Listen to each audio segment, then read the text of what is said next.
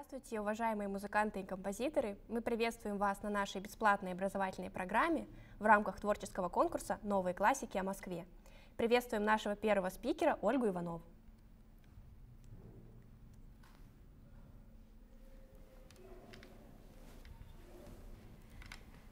Здравствуйте, друзья! Конечно, когда композитор, вообще творческий человек, занимается своим любимым делом, пишет музыку, играет на музыкальных инструментах, иногда ему меньше всего хочется заниматься продвижением в социальных сетях. И, конечно, э, в такой ситуации встает вопрос о том, чтобы это передать кому-то другому.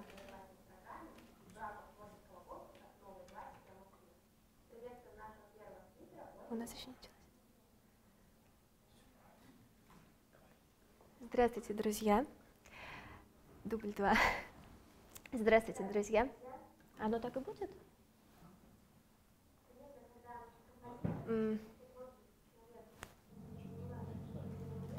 Что это? Это оттуда идет.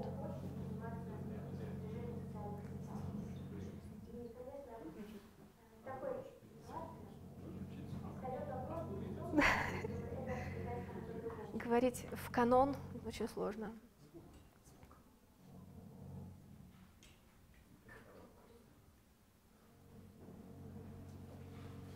Техническая пауза.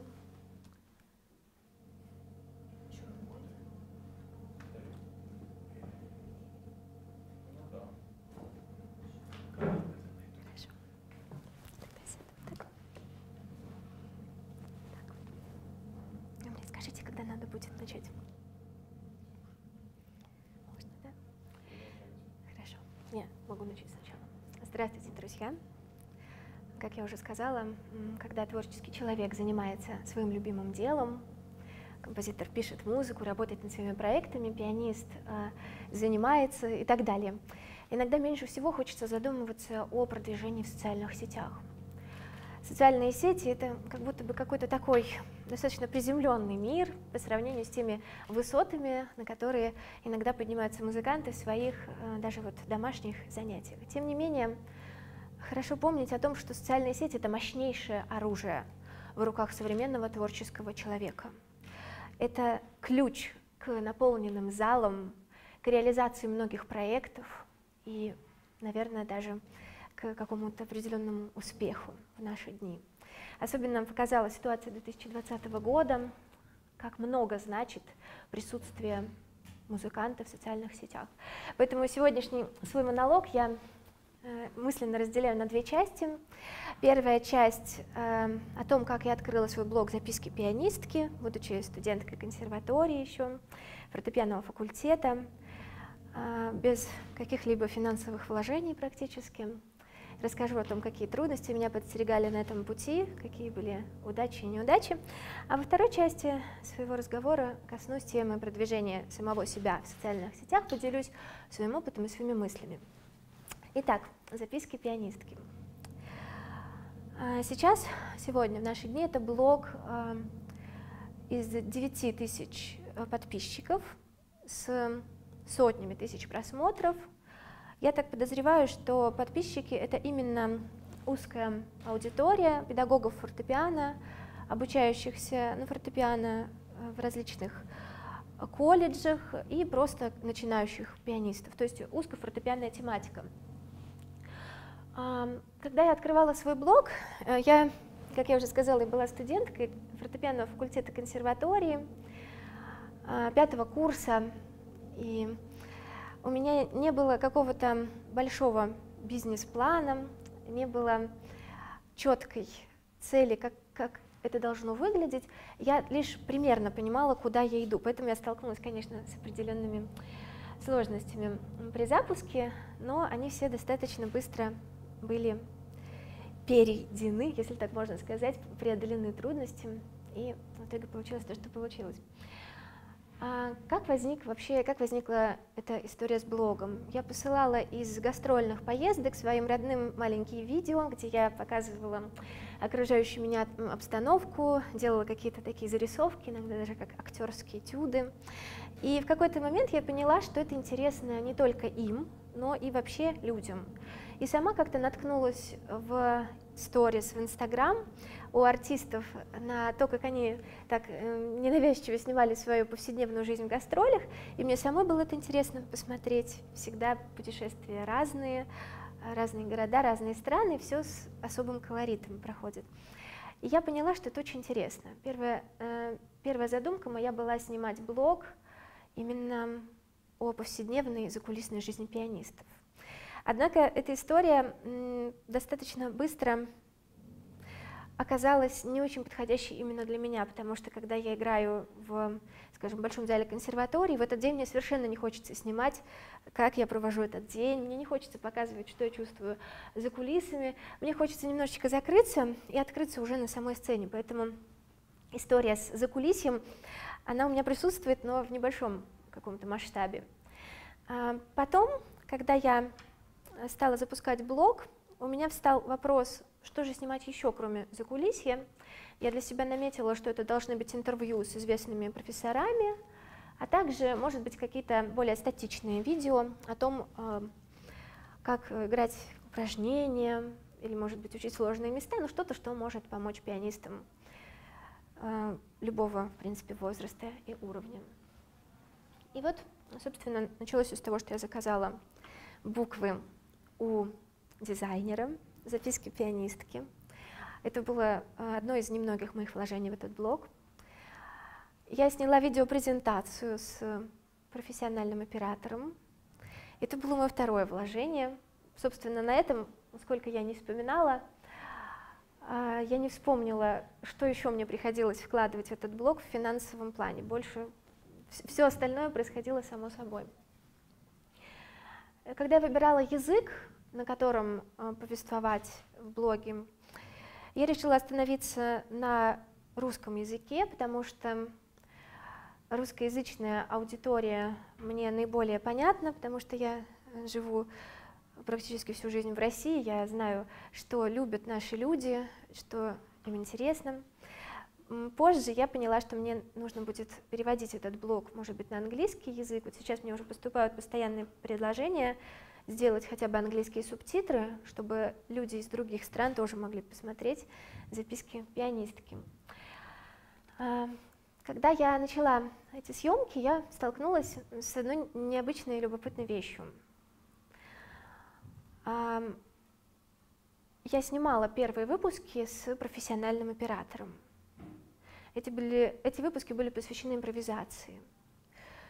И вы знаете, что интересно, сейчас, когда уже э, блог достаточно популярен, чтобы люди могли посмотреть и прошлые видео, и новые видео, до сих пор эти видео находятся э, среди самых непопулярных видео моего блога.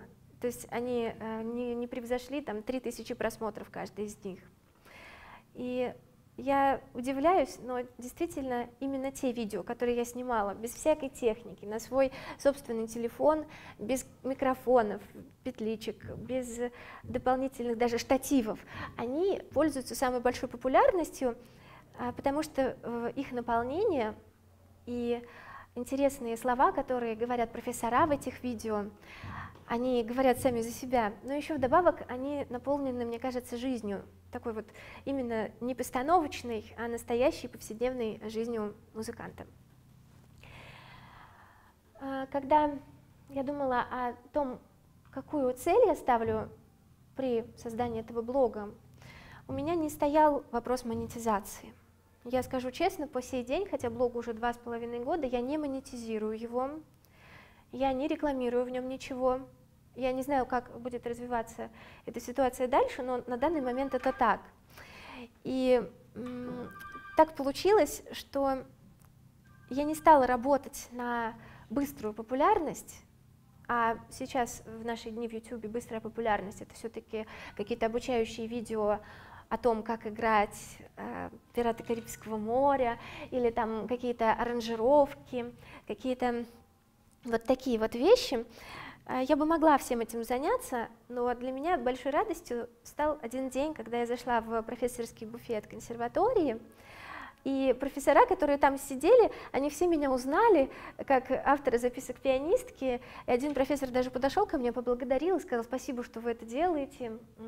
И я поняла, что мой блог смотрят э, люди э, высшего достижения в области музыки, высших э, познаний, высшей эрудиции. Для меня это было огромным счастьем. Поэтому я пока не стала э, это все делать более популярным, что ли, и иду по дороге вот этого, скажем так, той планки, которую случайно получилось взять. Но буквально на днях я собираюсь запускать второй блог YouTube. Вот сейчас я, наверное, уже могу вот так вот публично в прямом эфире об этом рассказать. А уже блог этот будет для более широкой аудитории, в котором я буду делиться какими-то более общими вещами, потому что записки пианистки — это именно для пианистов. А новый мой блог, я пока не скажу, как он будет называться, а, будет посвящен музыке в целом. Но, опять же, я, наверное, не буду работать на быструю популярность, на громкость заявлений, а именно на интересный, как это сейчас принято называть, контент. Вот. Хотя у нас есть прекрасное русское слово «содержание». Вот. Когда я думала о том, что говорить в связи с продвижением в социальных сетях, я поняла, что эта тема очень широкая, и мне сложно сказать все в рамках одного выступления, но я наметила основные тезисы, о которых я хочу сегодня говорить э, в связи с тем, как продвигать музыканту самого себя в социальных сетях. Во-первых, э, в социальных сетях формируется образ артиста. Хотим мы этого или не хотим, даже если мы постим я буду использовать эти интернет-слова, извините меня, пожалуйста, но просто они наиболее понятны для нашей темы. Если мы постим даже раз в неделю то, как мы пьем где-нибудь кофе, мы уже о себе что-то рассказываем. Каждый наш пост а, формирует наш образ в глазах аудитории. Даже если мы не, не являемся блогерами в широком смысле этого слова, сейчас у интернет-маркетологов принято считать, что любая личная страничка в соцсетях – это личный блог. Поэтому любой, любое наше заявление о себе, оно формирует вот э, это общее впечатление, которое мы себе создаем. А сколько раз встречала такие ситуации, когда сначала знакомилась с человеком в интернете, а потом уже лично. И иногда вдруг после какой-то картинки, вот, созданной через интернет-пространство, ты видишь этого человека вживую, и ты видишь, что это обычный земной человек, но он сумел себя так подать в социальных сетях, что его считают едва ли не звездой. Вот такое мы интересно сейчас живем время. Раньше, чтобы быть звездой, необходимо было, например, входить в какой-то топ а, так называемых селебрити, тогда за вами следили папарацци, вас снимали э, на красной ковровой дорожке, сейчас каждый человек, антураж звезды, в принципе, может создать себе сам с помощью социальных сетей. Вот такое любопытное наблюдение. И вы знаете, э, еще один очень важный факт. Нас читает больше людей, чем мы думаем. Впервые это открытие я сделала на четвертом курсе фортепианного факультета консерватории мы тогда поехали с родителями на море, на машине, прямо в бархатный сезон. И когда мы возвращались обратно, э, ехали по красивым кубанским полям, светило солнце, вдруг неожиданно раздался взрыв, и из капота пошел дым. Мы быстро съехали на обочину, каким-то чудом машина просто не взорвалась, из нее валил серый такой э, дым клубами. Мы вызвали эвакуатора, и ближе к вечеру нас привезли в город Ростов-на-Дону, заселили в первую попавшуюся гостиницу и машину увезли на ремонт. И мы застряли в этом городе на несколько дней в совершенно неожиданных для себя условиях. И вот я начала постить в Facebook какие-то фотографии с рассказом о том, чем я там занимаюсь. А я там э, занималась очень любопытными вещами. Я там и в ресторане пела, и еще что-то делала такое нетипичное. И когда я вернулась в Москву, пришла в консерваторию. А в Фейсбуке комментировали это буквально три человека, ставили там буквально 10-15 на тот момент лайков. И вдруг я иду по консерватории, и буквально каждый человек, который встречается мне навстречу, который встречается мне навстречу, да, спрашивает меня, ну что, Оля, как ты добралась? Что у тебя произошло? Расскажи, починилась ли машина? И вдруг я реально поняла, что э, вся вот эта вот тематика э, с чтением социальных сетей работает э, иначе, чем мы думаем. Мы думаем, что это увидели 15 человек, и только те, кто откомментировали и как-то отреагировали. На самом деле это фоном в своей ленте видят буквально все. Поэтому это очень такая э, важная особенность социальных сетей. Или вот еще один, кстати, пример. Сегодня будет выступать Алиса Куприева, она будет, по-моему, последним сегодня да, спикером. И как-то раз э, у нас сюда, опять же, в Москву приезжала э, менеджер из MG Artist, Наташа Слободырева. И она вела мастер-класс о том, как продвигаться музыканту. На этом мастер-классе присутствовала Алиса Куприева. Она сидела где-то во втором ряду. И вдруг эта Наташа Слободырева обратила у нее взор и говорит, а вот за вами я уже несколько лет слежу. У вас такой замечательный проект, вы молодец. И потом она тоже сказала об этой удивительной вещи, что а, мы думаем, что мы просто это запостили, а на самом деле мы это запостили совершенно не просто, это увидели нужные люди, хотя мы об этом можем не догадываться. Вот буквально на днях тоже меня приглашали а, в подкаст, а, и женщина, которая приглашала меня, была мне абсолютно незнакома, но когда она начала задавать мне вопросы, я поняла, что она в курсе всей моей жизни, потому что она читает мой Facebook и уже довольно долгое время и знает какие-то основные вещи, которые со мной происходят. Поэтому у нас читает гораздо больше людей, чем мы думаем. А, выступление Ольги скоро подходит к концу. Обязательно задавайте свои вопросы в комментариях под трансляцией. На самые интересные Ольга обязательно ответит. Да.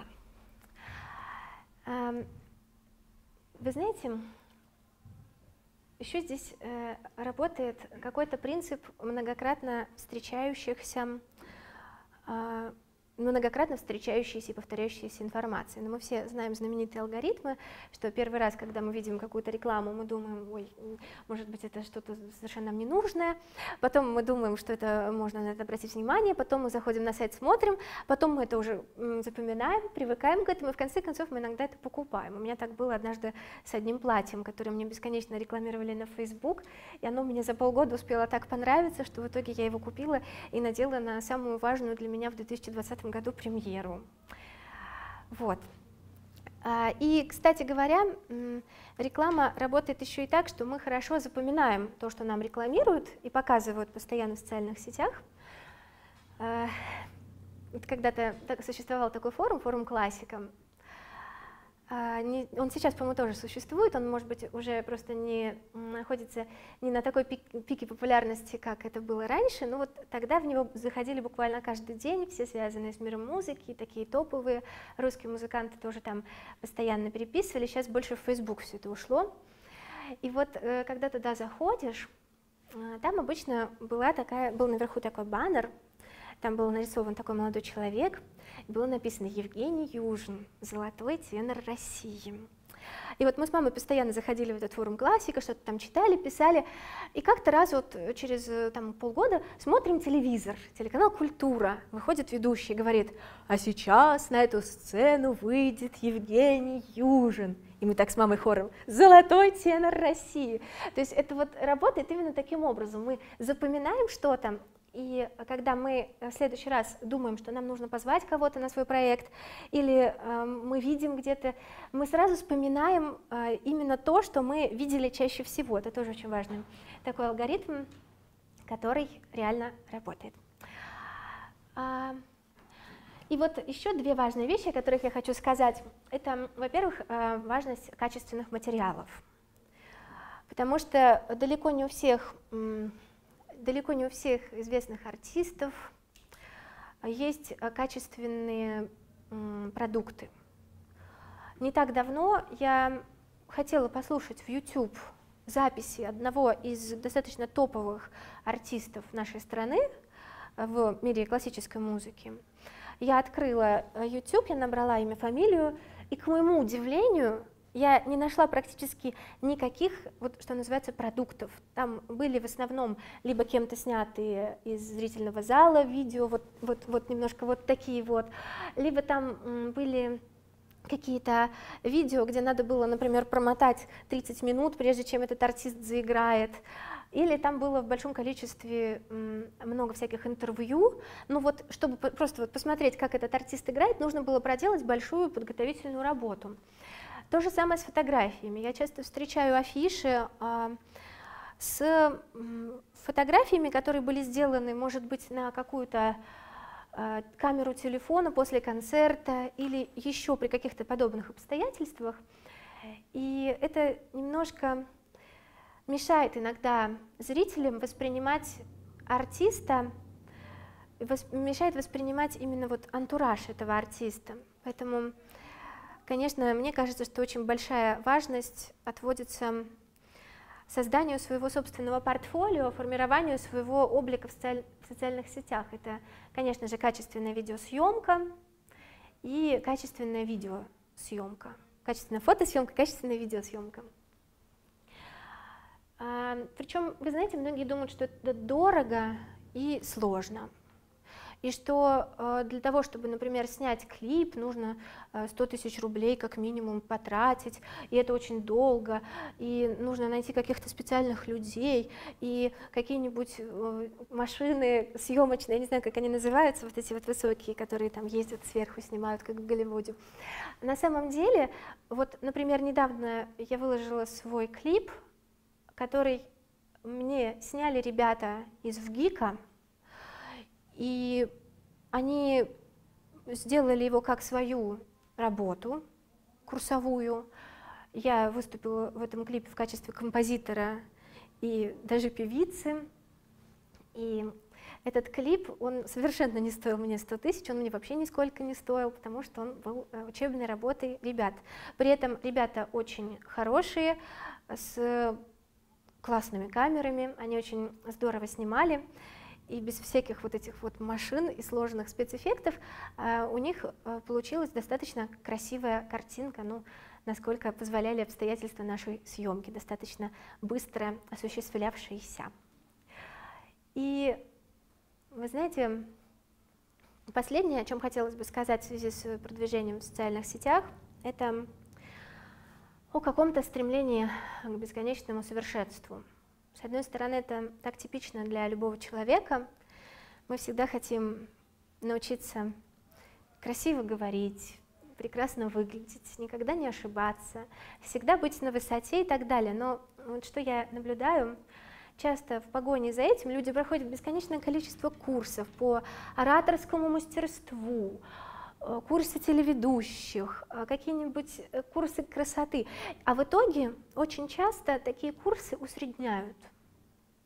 Я не хочу сказать, что все курсы по ораторскому мастерству научат всех людей говорить абсолютно одинаково, но очень часто, к сожалению, особенно сейчас, когда у нас начали делать курсы практически все люди, у которых есть смартфон, сейчас очень часто на этих курсах говорят одни и те же вещи, и когда люди начинают их применять, получается то, что мы видим а, в Инстаграме, например, в том же бесконечное количество блогов, как близнецы похожих друг на друга. А ведь именно в каком-то несовершенстве, в каком-то таком, как сказать, а, каком-то особенном изъяне и содержится иногда весь изюм человека, иногда именно вот его вот это несовершенство, какая-то особенность в его дикции, а, может быть, какое-то несовершенство во внешности или что-то такое способно сделать из него притягательного артиста, а, за которым захотят пойти многие-многие тысячи людей. Поэтому Мне кажется, что в данном случае э, стремление к постоянному какому-то вот росту, оно очень, наверное, хорошо, но если оно человека заставляет сидеть без дела, и пока он не поднимется на какую-то вот высоту для самого себя, он не хочет начинать какое-то дело, то я хочу вам сказать со всей ответственностью, что, наверное, если есть хорошая идея, ее надо начинать здесь и сейчас. Потому что, когда я начинала свой блог «Записки пианистки», э, у меня не было фактически никаких девайсов для съемки, но в процессе я начала работать и над качеством своих видео, и подписчик буквально сразу же подарил мне замечательную петличку, с которой я начала снимать дальнейшие свои выпуски. И постепенно все вот так вот обрастало какими-то новыми и новыми усовершенствованиями. И сейчас мой блог находится далеко не э, в той стадии, когда я могу сказать, что меня полностью идеально устраивает качество картинки, качество м, аудио, но тем не менее я делаю то, что я делаю по мере возможностей и сил, потому что это помогает мне охватить современный вот наш мир музыкальный, запечатлеть его прямо здесь и сейчас, таким, какой он есть, показать его современникам и оставить его для тех, кто будет смотреть его потом. А, спасибо большое, Ольга. Наши зрители также благодарят вас за интересное выступление и спрашивают, будете ли вы сегодня играть на рояле, возможно ли это послушать вас в оставшиеся наш 8 минут. Если это необходимо, я могу это сделать. Если нет других вопросов. Да, думаю, что ничего нам не мешает, так что просим вас, пожалуйста. Сейчас я секунду подумаю, что я бы хотела сыграть.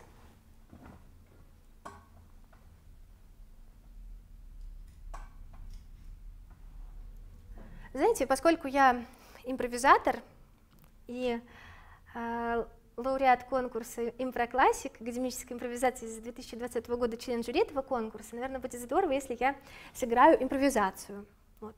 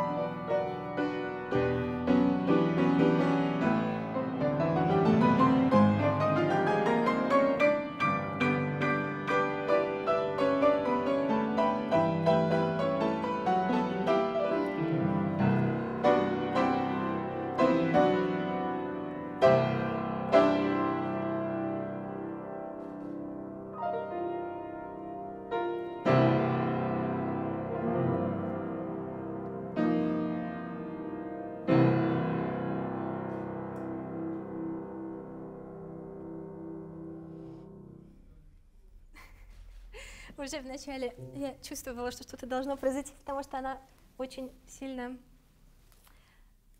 колебалась при моем нажатии на нее, поэтому я здесь присутствую при преступном акте поломки рояля, но я здесь ни при чем.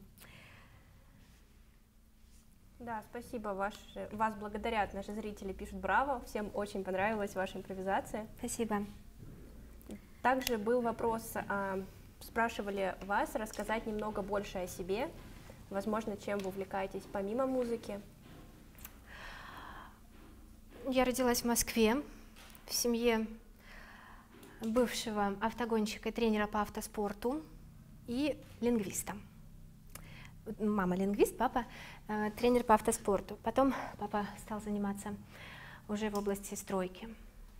Но свое хобби сохранил и по сей день. А, меня отвели в музыкальную школу в возрасте 4 лет. Я занималась в подготовительном отделении, потом э, в 5 лет пошла в обычную музыкальную школу, хотя меня записывали на скрипку. Меня мама переписала на фортепиано, за что я бесконечно благодарна.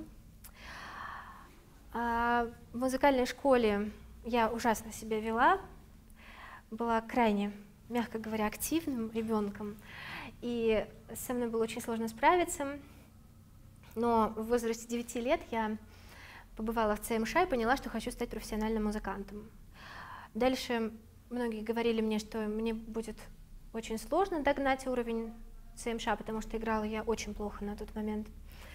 Эм, Некоторые говорили, что поезд уже ушел, что я никогда не смогу быть пианисткой. Последний раз мне это сказали в возрасте 16 лет. Я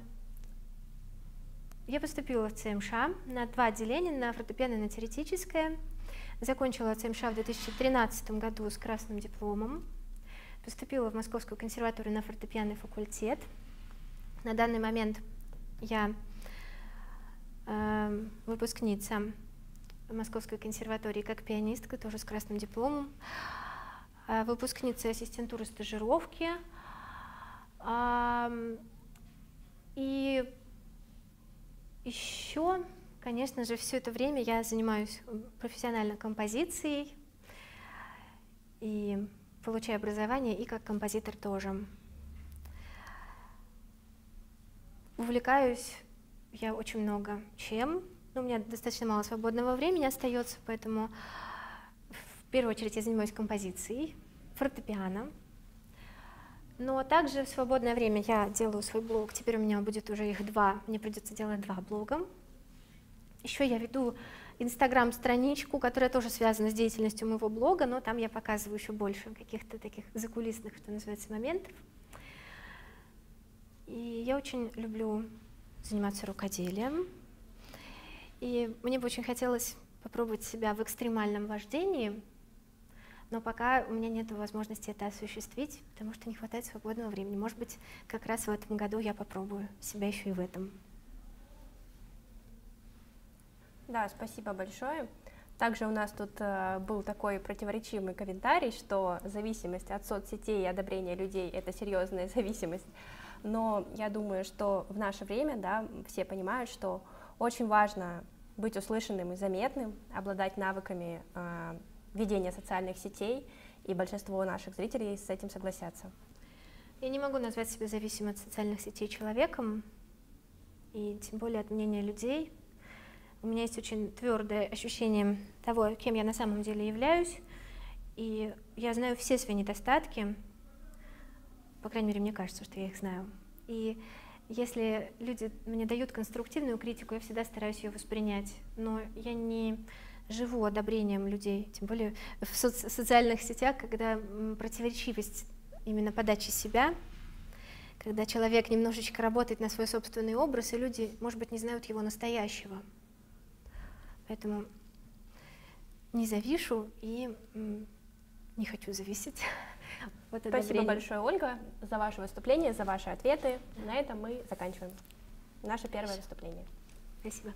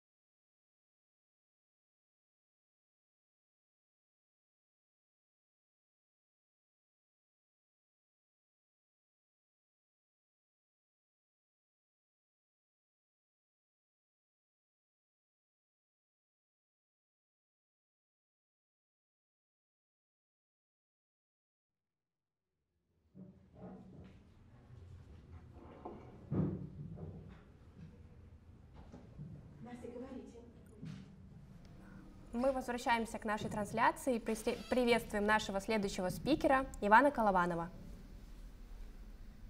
Здравствуйте. Здравствуйте, Иван. Здравствуйте. Да, можете начинать ваше выступление. Хорошо. Значит, хочу сказать, как, как я решил стать композитором. Когда я учился на первом курсе музыкального училища, вдохновился игрой пианиста Виктора Рабовко. Меня впечатлили его импровизации на сложных темах из зала. Я взял и начал писать свою импровизацию, причем без темы. Вот и текст так и назывался «Импровизация». Конечно, импровизация – это не сочинение, но это было первым шагом к сочинительству следующим опытом уже по сочинению, но не воплощение своей импровизации, а стремление изобразить виртуозную игру на баяне. А, с таким сочинением я и попал на консультацию к Антону Николаевичу Немецкому, когда был заведующий нашему кафедре. Профессор выразил сожаление, что необходимо еще несколько лет ждать моего поступления в консерваторию. Такие слова ободрили меня и вдохновили на дальнейшее сочинительство. Дальше, как и у многих, обучение и окончание консерватории и ассистентуры стажировки. Но почему для меня вообще важно сочинение? А, потому что для меня произведение – это не товар, а живое существо. Но чтобы сочинение было живым, требуется яркий образ, детальное воплощение, уход от штампов. Э, я стремлюсь писать не прикладную музыку, а самодостаточную. Прикладная музыка подстраивается под людей, а самодостаточная заставляет людей подстраиваться под нее, под а, Откуда я беру вдохновение И откуда я беру образы и идеи сочинения? Чаще всего образы и идеи для сочинения я черпаю из явления природы, из художественной и искусствоведческой литературы. Как говорил писатель и драматург Джин Фауэр, писатель, э, писать, писать легко. Вам нужно лишь сидеть, ставившись чистый лист бумаги до тех пор, пока на лбу не выступят капли крови. Конечно, не следует понимать такую цитату в буквальном смысле. Ведь вдохновение это не значит, что я сижу без дела, а потом зашло озарение, откуда-то я родилось сочинение. Но, очевидно, здесь имеется в виду сочинение как результат мыслительной деятельности, ежедневного сочинения, можно сказать, ежесекундного влияния. Поэтому, поэтому и Чайковский в своих песнях говорил, что иногда вдохновение ускользает, не удается. Но и считаю долгом для артиста никогда не подаваться, и болезнь очень сильна в людях. Вдохновение – это такая гостья, которая не любит посещать ленивых. Она является к тем, которые призывают ее. Нужно необходимо побеждать себя, чтобы не впасть в дилетантизм. Также хочу сказать по поводу участия в конкурсе «Новый класс». Я не сразу решил, какую номинацию отправить в этом конкурсе, потому что удивительная особенность этого конкурса в том, что современная академическая музыка трактуется только в одном крайнем стилевом ключе, авангарда. Для меня важно воплощение образа, именно он диктует средства. Поэтому я словно не пытался создать популярную музыку с одной стороны. И, писался авангард, потому что образ не требовал именно тех средств, которые указаны в этой номинации. Отсюда и сомневался, куда отправить. Но по описанию конкурса точно это не, не подходило в авангардную номинацию. В итоге осталась популярная. Образ диктует технику, а не наоборот. Все? А, Спасибо большое. А, Вы закончили, да, правильно понимаю? Да. Хорошо, спасибо, А, Иван. У нас нет вопросов, такое краткое выступление. Благодарим вас и прерываемся снова на небольшой перерыв. Спасибо.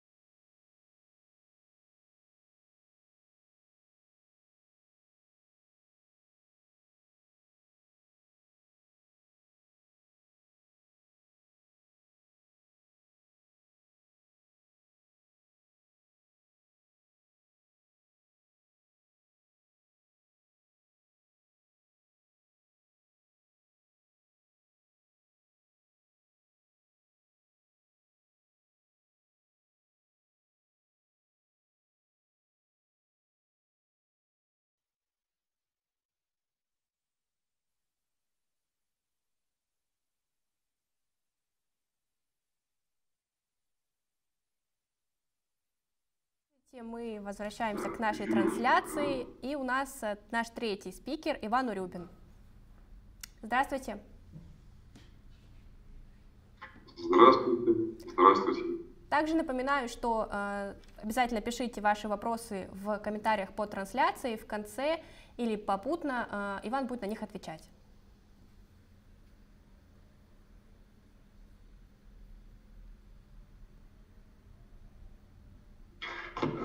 так как у нас сегодня со связью, видимо, есть небольшие проблемы, э, в связи с погодой, может быть, э, то извините, если будут какие-то прерывания. Э, тему сегодняшней дискуссии, можно так дискуссии назвать, да, я выбрал, скажем так, мне кажется, актуальную для композиторов. Это вот проблема, даже не сказать проблема, да, а некоторые аспекты слушательского восприятия. Да? Поскольку я как композитор работаю исключительно в сфере прикладной музыки, да, для души мне получается писать редко приходится, да, в основном э, это все-таки заказы либо для кино, либо для анимации, либо для театра, то вот эта вот проблема диалога, прежде всего диалога с э, заказчиками, да, и второе, это проблема, вот, собственно, понимания, да, насколько вам широкая аудитория нужна для ваших произведений музыкальных. Да? Она всегда стоит остро. Стояла она остро и в 19 веке, и ну, ну, в 19 веке, в общем, пошло. Да, и сегодня у нас существует огромное количество ответвлений современной музыке, да, академической, да и прикладной тоже, да, в которые, которые, скажем так, на вкус и цвет товарищей нет, называть, да, поскольку э, специфика выразительных средств, которые избирают композиторы, иногда бывает просто-напросто непонятной, да, людям. А вот когда работаешь, соответственно, в кино, э, первый, с кем ты сталкиваешься, это со вкусом и образованностью режиссера и продюсера. И вот тут, конечно же, бывают очень большие, как бы, ну, не то что казусы, скорее нужно решать дилемму, да, насколько вам важны исключительно ваши предпочтения, да, когда вы сочиняете музыку, и насколько нужно прогибаться будет, вот, собственно, вкус заказчика, да. И бывают очень, скажем так, э, возрастные критерии, да, если у нас заказчик ну, не молодого возраста, то бывает там предпочтение исключительно написать.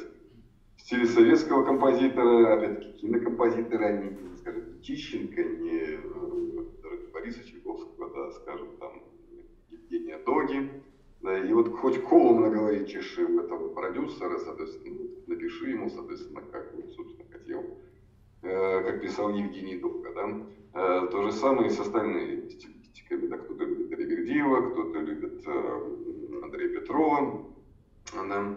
Э, с другой стороны, существуют продюсеры, которые совершенно не следующие, и режиссеры, которые совершенно не следующие вообще в оркестровой музыке. Да? Да, и вот, собственно, у них восприятие бывает с одной стороны ограничено, с другой стороны вы сами композиторы можете для себя найти очень много интересных моментов да, вы будете обращать внимание на те вещи, которые раньше как бы ну, мимо вас проходили, да. Когда вы пишете музыкальные какие-то акценты, да, для, часто так бывает, что композит, для композиторов достаточно как бы одинаково, что уже на одни и те же музыкальные средства, да, ладовые наклонения, да, скажем, интонационные вещи, да, голосоведение, да, тембровые подборки, да, э, а режиссер и продюсер иногда, иногда, конечно, ну, это получается полное совщина, да, иногда получается при очень хорошего вкуса у режиссера, в общем, такой э, интересный опыт работы с человеком, который далеко не музыкант, далеко не, скажем так, не э, не сведущ во всех 14 стилистиках, которые выделял Евгений Холопов, который сведущ, что такое там штатские школы, который не знает, что такое новая сложность, да, но который, соответственно, имеет свой собственный достаточно развитый музыкальный вкус. Да. На чем его развит, он, он абсолютно разная может быть, сфера музыки. Да? И вот тут вот, на самом деле начинает обчесываться композитор. Э, и И полезно ли это или не полезно? Вот на самом деле большой вопрос. Вот если вы, соответственно, в диалоге со мной можете написать свои соображения. Поскольку на самом деле важно э, найти общий язык с аудиторией. Чайковский тоже хотел находить общий язык с аудиторией. Тут, несмотря на то, что он был гениальный композитор, но, тем не менее, все равно же та же самая четвертая симфония, если посмотреть на время написания, она написана очень даже здорово под ту, скажем так, временную конъюнктуру, да, то есть э, начало турецкой войны, да, первая, скажем так, масштабная война на памяти Чайковского, да, подростка был, когда была Крымская война, соответственно, вторая в 1977 году началась. Затем реформы, да, и, в общем-то, тот тон, который задает, задает симфонии, те настроения, да, они абсолютно были созвучены не только самому Чайковскому, но и аудитории, которая, первая аудитория, которая это слушала. Да? Соответственно, да, мы как-то всегда фокусируем внимание на то, что барочный композитор, вот они, соответственно, такие прикладные, чтобы Бах писал каждую неделю по контакте, да, да, постромантики, романтики, в общем-то, тоже чуждались, скажем так. Да, то же самое можно сказать про пятую симфонию Чайковского на самом деле. Э, и когда вот пишешь для кино, для анимации, да, в общем-то, конечно, решишь для себя дилемму, что важно, чтобы твоя музыка была понятна для, не для маленького зала, скажем, не для конференц-зала или для рахманиновского зала, да, а для, в общем-то, аудитории, киноаудитории очень широкой, это многомиллионной, да. И вот тут, скажем так, две крайности существуют, да. Может быть, из-за вот существования вот этих двух крайностей у нас, э, плюсе в нашей стране, да, немножечко такая сложилась биполярная система. С одной стороны, в киномузыке существует огромное количество людей не с консерваторским образованием, не с гнесинским образованием, с любой другой консерватории, да, из Питера, из Урала, да, да, а конкретно люди, пришедшие либо из групп, либо, либо просто хорошо говорящие, да, люди, которые болтали продюсеров и режиссеров, да, и таковых на самом деле больше половины в современной индустрии кино. Поэтому меня всегда вот эта вот на самом деле тема как бы беспокоила. Э, существует огромное количество талантливых, замечательных людей, которые поступают в консерваторию, да, московскую в частности, да, да, которые при выходе, соответственно, не имеют выхода на, при выходе из консерватории не имеют выхода на, уже выхода на, собственно, прикладное применение своих умений. Хотя, собственно, и где как в консерватории получить образование по оркестровке, по полифонии, по гармонии, все эти навыки очень нужны. Да? А подсаживаются, прежде всего, продюсеры режиссеры да, на более, как сказать, убогий музыкальный контент. Да. Но вот э, сказать, что тут планка какая-нибудь заниженная, да, ну, ну 90-е годы можно было об этом сказать. Да. Сейчас, собственно, есть некоторое количество композиторов, которые как-то более-менее стараются пойти на компромисс, то есть вроде как э, и оркестровую музыку в оркестровом формате пишут, и средства выразительности более богатые, да, но тем не менее, и этим людям приходится прогибаться вот, вот ту самую вкусовщину, да, да, которую, в общем-то, мы имеем в кино. Так что, но, скажем так, э, научно, если все это объяснять, да, я еще лет 12 тому назад задался, в общем, такой идеи, да. Началось все с того, что хотелось начать некий, некий формат инквизиции музыкальной, поскольку, с одной стороны, у нас есть э, вот эти, э, как их называю, сектантские направления в авангарде, да, когда пишут музыку, партитуры, люди изобретают нотацию, да, а э, не соблюдают буквально там каких-то технических, теситурных вещей, да, у инструментов строи даже, да, ну, как бы такая немножко неграмотность. С другой стороны, существует вот эта вот э, э, сфера, пришедшая скорее из такой музыки не академической, да, музыкантов, да, которые, в общем-то, тоже с музыкальными дисциплинами имеют очень отдаленное о них представление, да, и пишут достаточно как убогую музыку. И в связи с этим я даже начинал делать эксперименты еще в 2010 году совместно с Институтом инженерной деятельности, да, и у нас был эксперимент на слушателях, да, включали, собственно, электроэнцефалограмму, э, со мной вместе работали сотрудники института, и потом даже совместно с МГУ делали эксперименты. И был очень интересный, на самом деле, результат, что действительно мозг, в общем-то, людей, слушателей, как у музыкантов, так и не у музыкантов, устроен на самом деле одинаково. Мы, конечно же, себе развили вкус музыканта, да, наш иммунитет музыкальный гораздо выше, чем у любого любителя, да, но тем не менее, вот комплексы музыкальных средств, как они построены, как они заставляют иногда поголодать слушателя, да, на какой-то фактор, да, а потом, чтобы это разрешилось, вот это, собственно, напряжение, да, да, все это дело одинаково происходит совершенно как бы, в разных категориях слушателей, как музыкантов, так и не музыкантов. А, так что эксперименты были очень интересные. В общем-то, у нас даже были статьи в зарубежных журналах на эту тему. Э, и действительно, ведь по сути все музыкальные средства можно, ну, у кого у всех по-разному, у всех разных проектов, в принципе, можно разгруппировать и сделать более-менее полноценную систему музыкального анализа.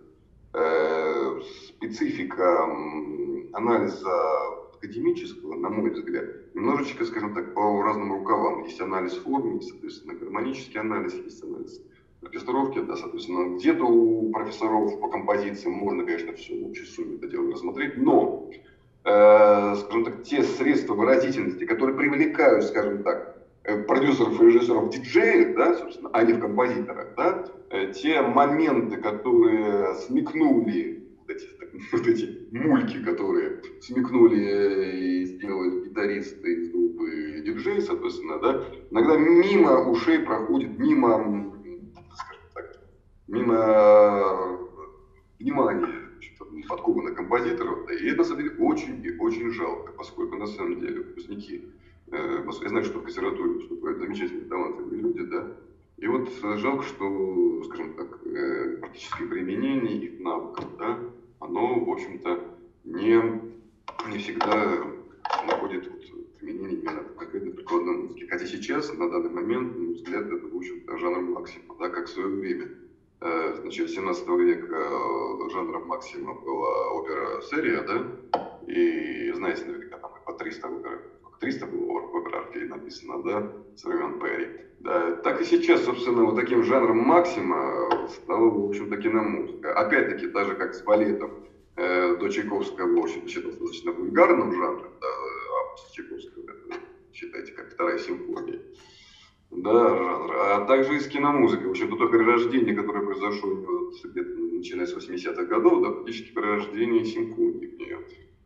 Но есть, скажем так, интересная тенденция, то, что слушателям очень нравится в последние годы все-таки звучание симфонического оркестра.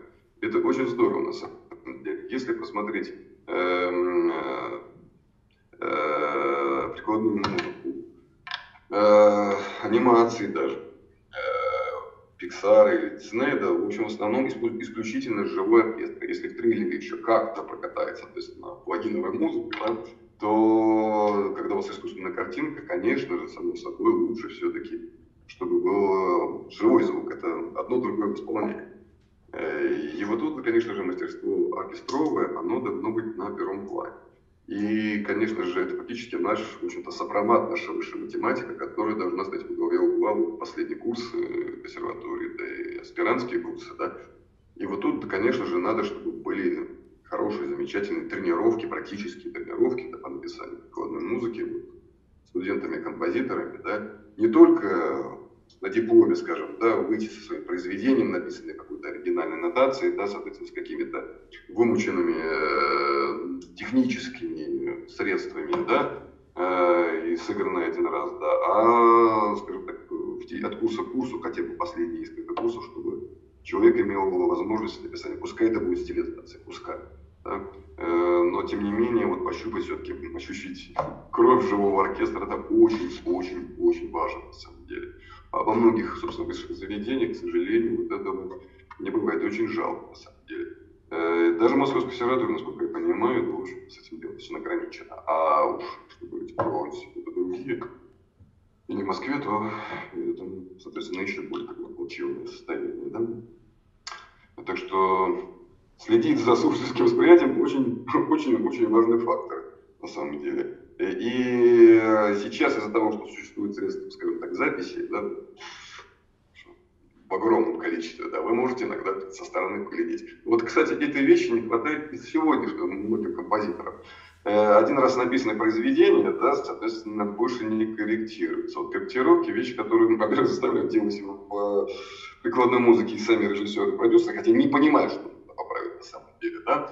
А, а в академической музыке из-за того, что, соответственно, употребляются все, собственно, изобретенные или не изобретенные конкретно авторские авторы техники, да, то произведения корректируются, да, и, в общем-то, не все время вот это здесь присказка, да, что сейчас не поняли, да, потом поймут, да, вот это откладывание в долгий ящик, там, соответственно, паха забыли, да, потом вспомнили, хотя это неправда, да, и то же самое вот и нас, соответственно, мы напишем произведение, соответственно, вот такой техники, да, э, и нас, соответственно, сейчас не оценили, но пройдет некоторое время, да, вспомнит. Но практика показывает, что уже вот таких вот поколений авангарда. Уже прошло несколько со времен войны, да, если до войны это все-таки был эксперимент, да, э, все на войне, то после войны вот этот шквал какой-то, в общем-то, техник, да, и вот опять-таки, вспоминая Холопова с 14, да, собственно, техниками, да, да, и назвать вот любую из этих техник, соответственно, более-менее грамотным, более-менее следующих музыки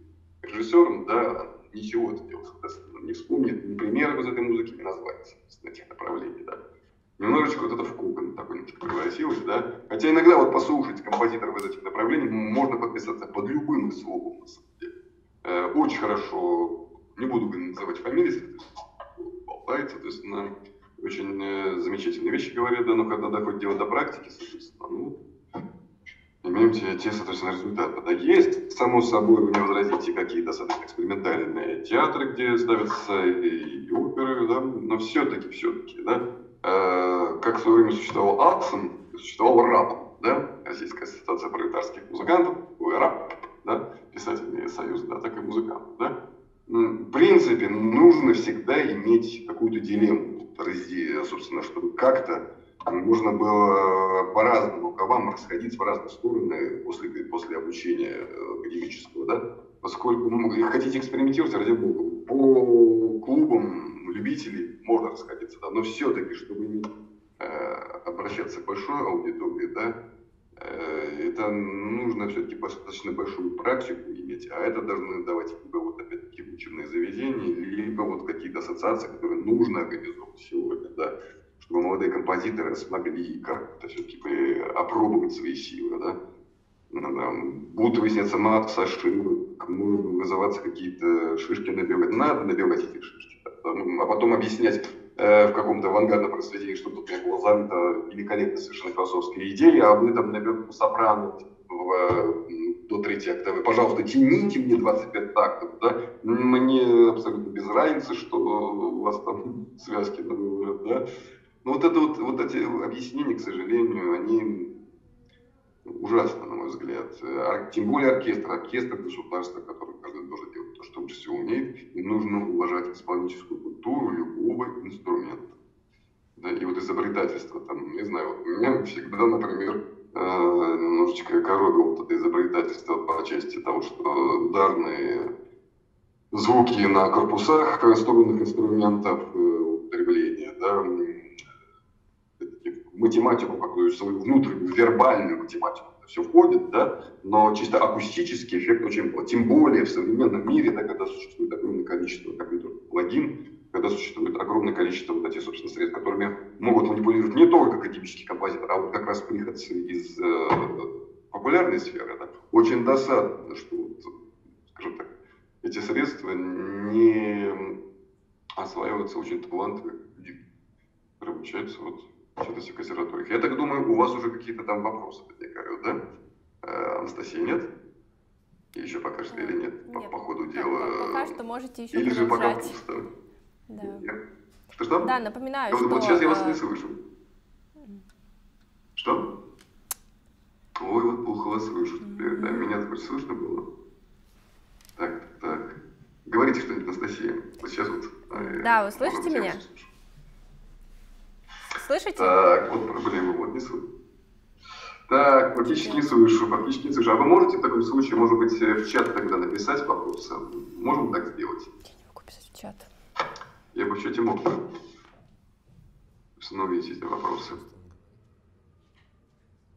Так, так, вот сейчас я вижу чат. Если вы можете, пишите тогда в чат. Э, если мы продолжаем, то э, вот относительно вот этих экспериментов, которые проводил, да, э, что интересно выяснялось, то что а, вот есть какой-то вопрос, да? Так, только, по-моему, это все другим шрифтом написано. Можете перевести мне его, пожалуйста, потому что написано каким-то другим шрифтом. Так. Давайте все-таки тогда подожду. Я не понимаю, слышно меня или нет. И вопрос, соответственно. В общем, на самом деле, надо выбирать, что называется, дилемму. Хотите, чтобы вашу музыку слушали в ограниченных залах маленьких, да, на которые приходили бы, вот, соответственно, музыканты, э, друзья музыкантов, которые исполняют, родственники этих друзей, ваши родственники, э, и э, какая-то категория людей, исключительно любителей подобного, да, да, либо, соответственно, аудитория широкая, да, и тогда все немножечко становится на свои места. Так, а вас слышно вопрос? А, вот, пока, пока продолжаем. Ясно, да. Хорошо. В таком случае можем поговорить о музыке, собственно, прикладной, да, и, собственно, о симфонической музыке, да, в кино. Э, очень интересно, что состав, который, в общем-то, в основном употребляется океан, это тройной, да. У нас представить такие вещи, общем-то, сейчас невозможно практически все саундтреки записываются максимум парными составами. Опять-таки, из-за чего эта проблема происходит? Из-за представлений у продюсеров о том, что, в общем-то, оркестр это дело дорогое. Да? И вот это всегда, на самом деле, проблема, которую надо обязательно решать изначально на, еще на препродакшене, да, э, производства картин. Нужно обязательно договариваться с продюсерами, что если хотите какую-то полноценную музыку, нужно обязательно Э, соответственно, выделять бюджет. Если на операторские съемки, там, на все краны операторов выделяются огромные суммы, ну, вполне приличные суммы, да, то музыка оказывается, вот, к сожалению, такой падчерицей. И э, даже вот парный состав, соответственно, это по большим праздникам, буквально, и не только у меня, соответственно, буквально у всех композиторов, которые хоть как-то, более-менее стараются записывать э, полноценный саундтрек строго для кино.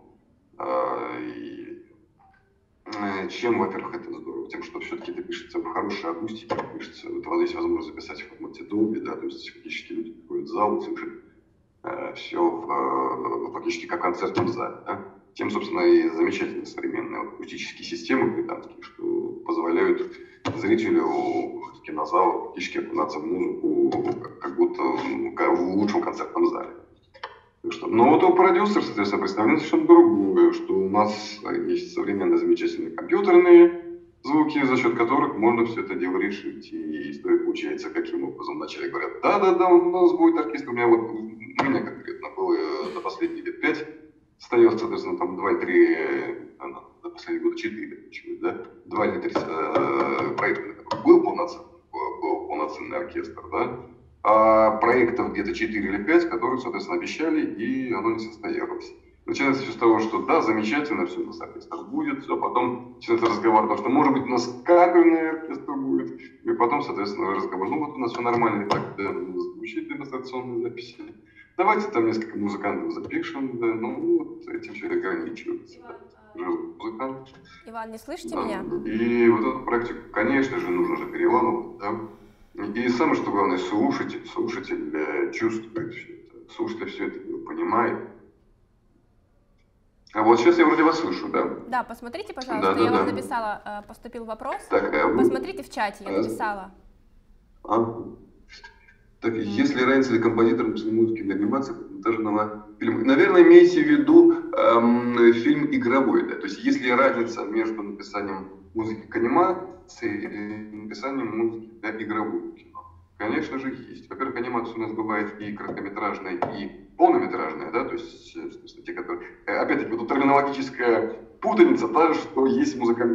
Есть понятие мажора минора, есть понятие мажора минорной классической системы, да? Тут точно так же. Полный метр в понятии аниматор это, это, это 15 минут э, мультфильма, да, то есть не полнометражный фильм. Полнометражный фильм полтора часа, соответственно, час 15, да, минимум час, да. Это понятие как бы кино, да. И вот, соответственно, существует кино анимационное, да, которое продолжительное, такое же, как игровое кино. И существует, соответственно, короткометражная анимация. Короткометражная анимация, она в основном авторская, да, и тут эксперименты, э, общем-то, возможно, совершенно разные, да. А, а вот как раз полнометражная анимация, да, она интересна, она и коммерческое кино, а не авторское в основном.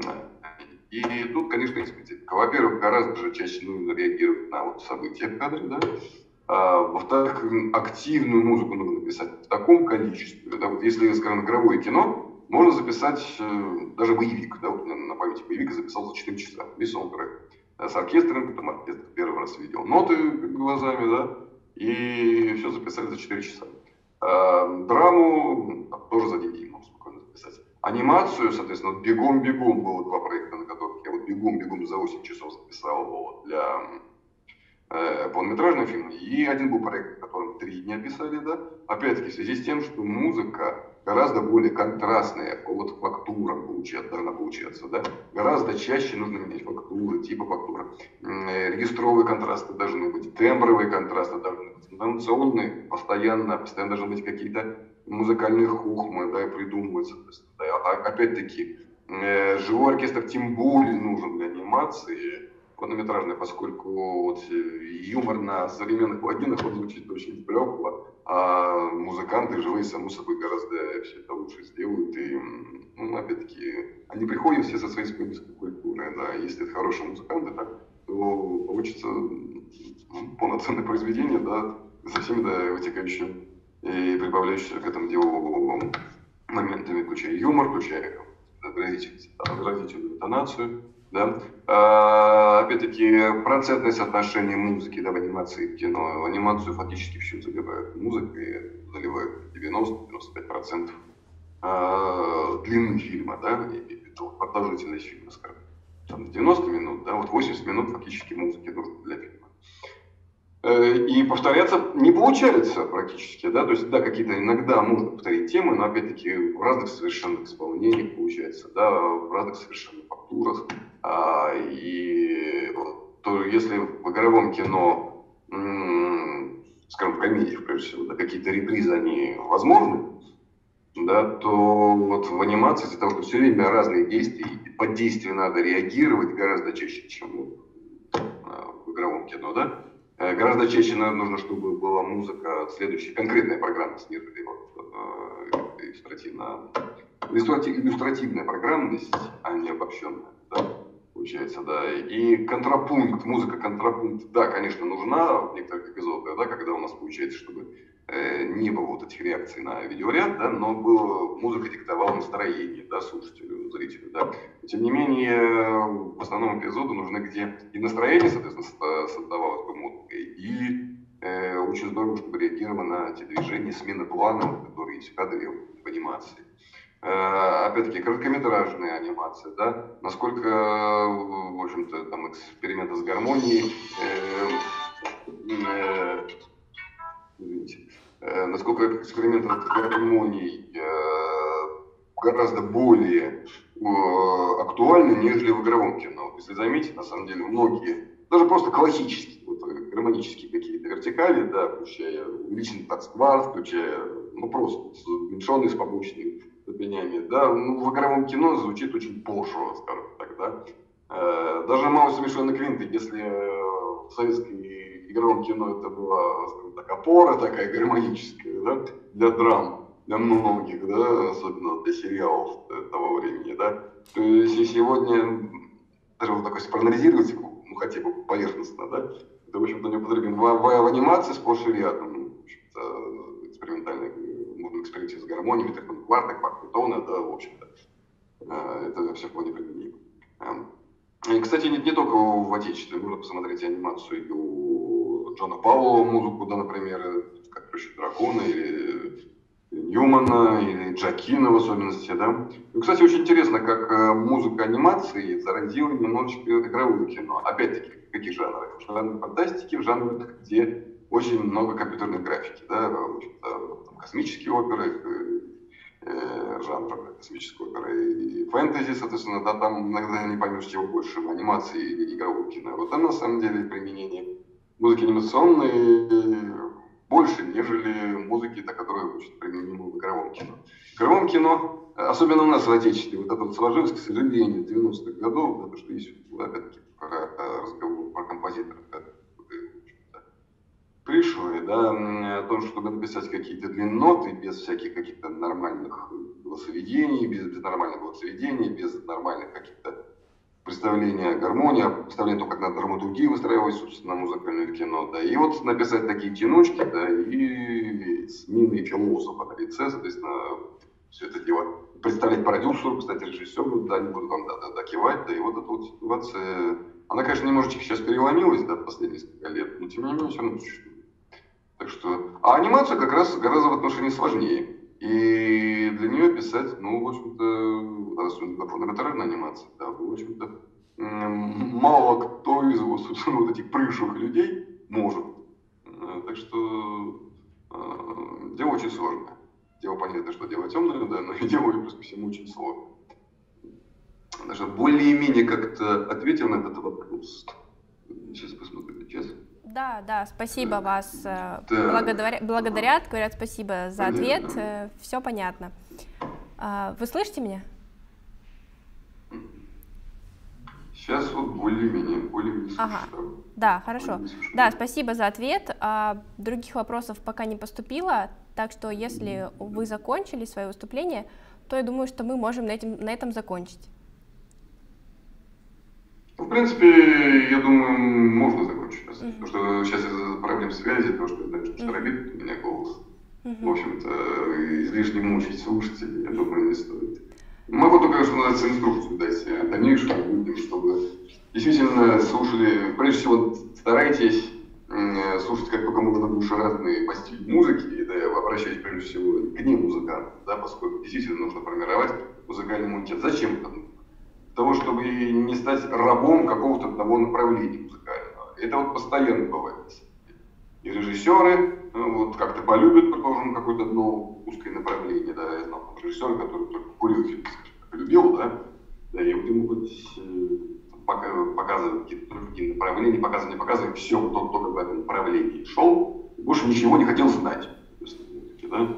И старшее поколение, понятно, что там бывает, да, вот эти вкусовые предпочтения, там уже не переломить бывает, да. Но ну вот, соответственно, более молодое поколение, да, все-таки старайтесь слушать только можно больше разной музыки. И оркестровой музыки, организационной музыки, и экспериментальные электронные направления обязательно нужно все это освоить. Так что это очень-очень нужно, да. И композиторам, само собой, тоже надо расширять кругозор, да, и да, не только к студентам относятся, в общем-то, и ко мне, и ко всем, на самом деле. Всякие, все, все появляющиеся новые направления, все это нужно прочувствовать, про Иначе мы будем получать режиссеров, например, у меня был случай, тогда на мастер-классе был режиссер, который, ну, вообще, соответственно, не знал ни одного, собственно, более-менее оркестрового саундтрека, тем не менее разбирался в направлении хип-хопа, да, да, они существуют, да, но да, таких, соответственно, режиссеров, э, ну, кому-то работать с ними легко, соответственно, да, было. Да, а вот академическим композиторам, да, конечно же, надо же, надо обязательно давать дорогу. Как, какие выходы? Выходы организовывать, соответственно, какие-то союзы. Союзы, можно, опять-таки, под эгидой новой классики, возможно, организация вот такого союза, который бы э, занимался бы вот этой деятельностью, да, именно конкретно в прикладной музыке, да. Так что ну, могу только пожелать, скажем так, удачи композиторам, в их, молодым композиторам в их экспериментах, в их профессиональной сфере. Был рад вас видеть и слышать. Спасибо большое вам за совет и за выступление. Да, да, до новых встреч, до свидания.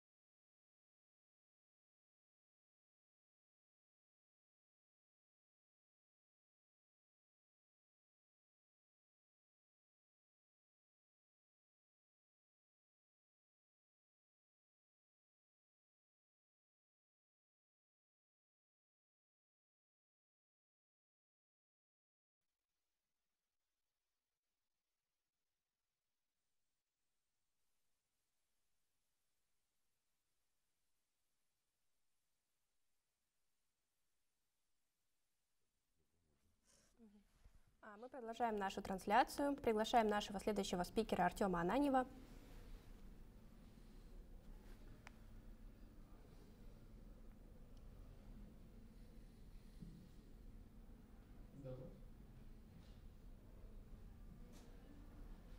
Здравствуйте, Артем. А, я напоминаю, что во время выступления Артема пишите свои а, вопросы в комментариях под трансляцией, и в конце выступления а, Артем обязательно на них ответит. Дорогие друзья, приветствую всех, приветствую в этом прекрасном конференц-зале и не менее замечательном проекте фонда «Новые классики»,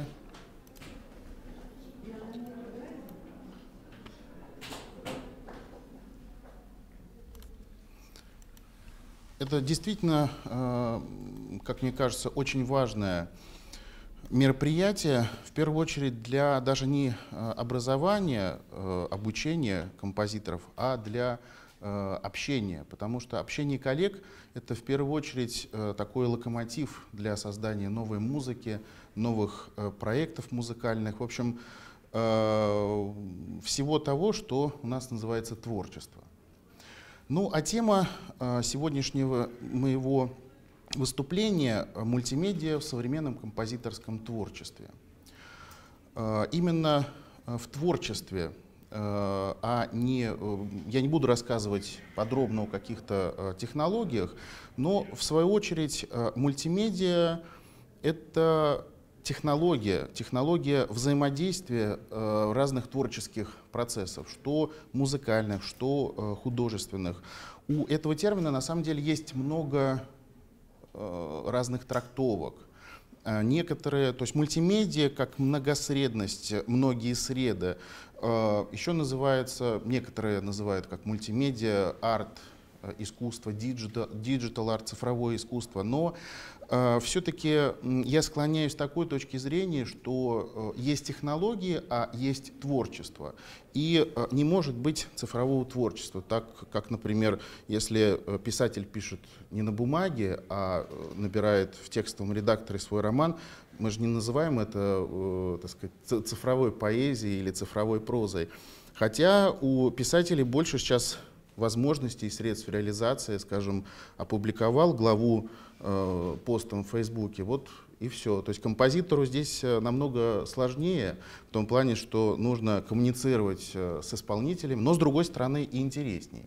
Поэтому все-таки творчество творчеством, а мультимедиа — это технологии, которые ну, в общем-то, на протяжении уже долгого времени, начиная с 60-х годов, в Западной Европе, Америке, и, в общем-то, дало толчок такому крупному использованию, частому использованию и актуальности именно с 90-х годов, когда цифровые технологии уже стали такой повсеместностью, то есть они стали доступны, уже не говорю про наши нулевые годы.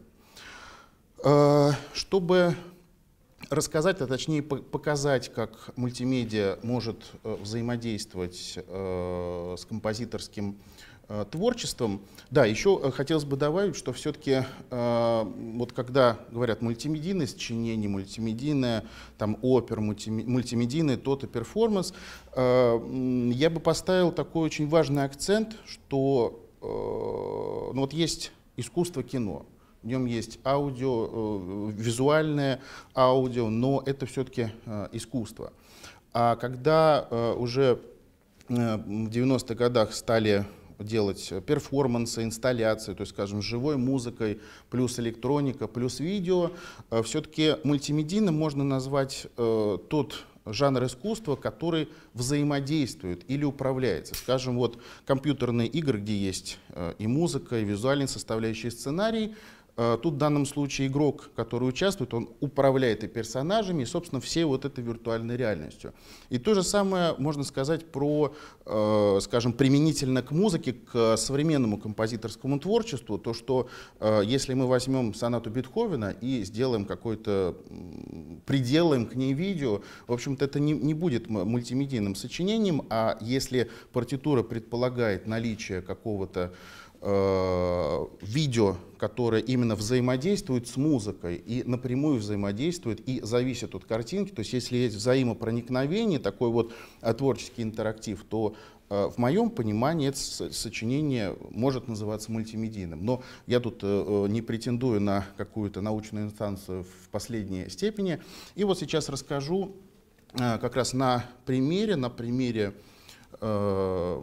проекта «Монотеатр», который э, состоит, это спектакль-проект, э, первая его часть это камерная моноопера, э, вторая часть хореографическая фантазия, ну, своего рода монобалет. В общем, почему называется моно? Потому что как театр одного актера.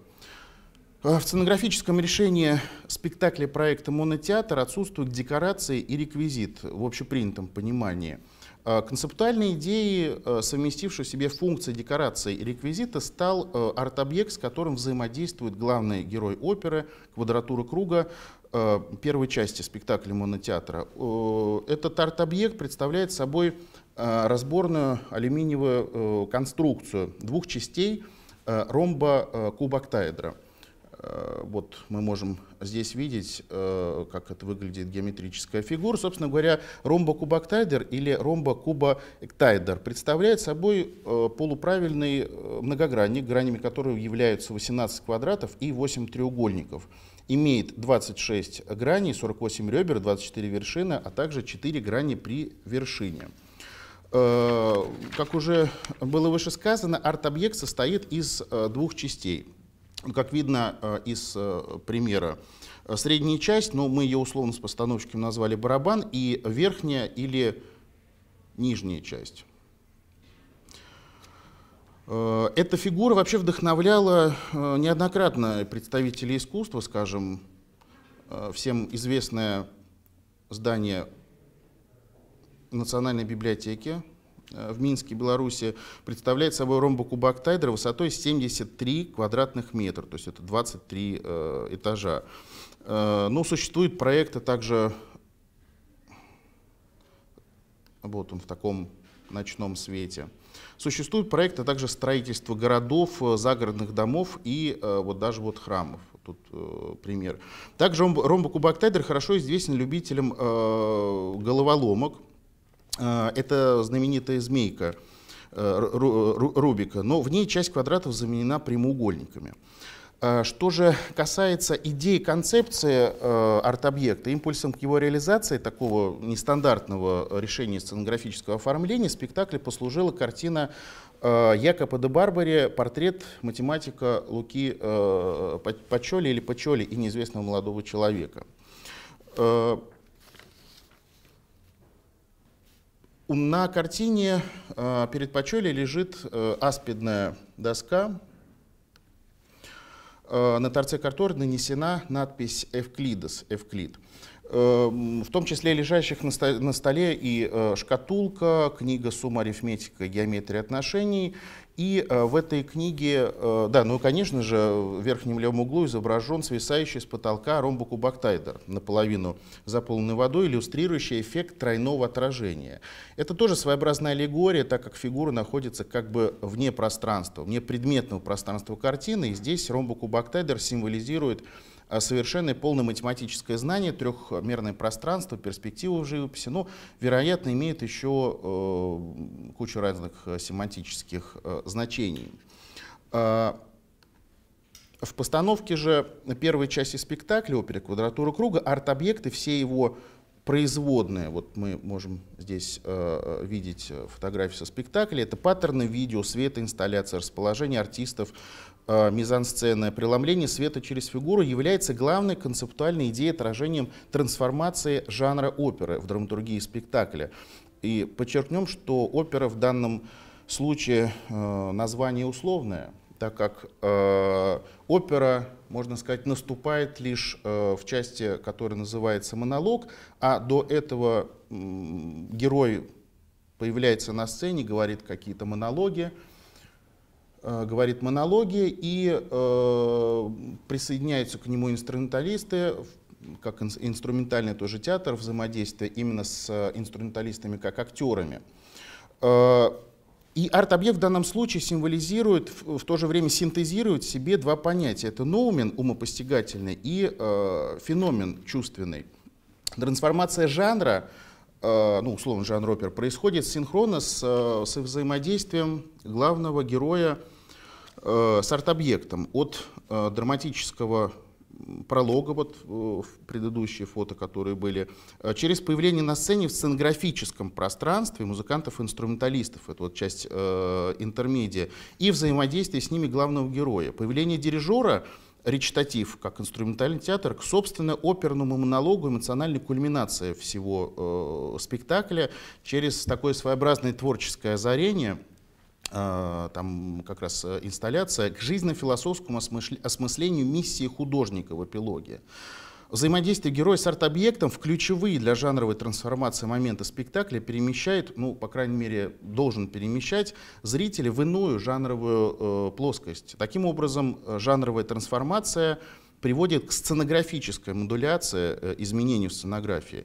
Ну и, собственно говоря, вот э, после просмотра первой части спектакля, создав себе некий образ, такую целостную э, невербальную структуру, публика производит определение ситуации через чтение буклета, ролла, афиши, э, роллапов, я имею в виду, в которой антракт уже между спектаклями принципиально мыслится, ну или, по крайней мере, по задумке постановщиков, должен мыслиться не как такой некий перерыв на отдых, хотя почему бы нет. То есть и в буфете, и везде, везде стояли, э, так сказать, инсталляции, с, с тем, что есть сценография, а уже мыслится как часть сквозного драматургического действия. Вот сейчас несколько видео, чтобы не быть голословным, видео примеров покажу вам э, из оперы.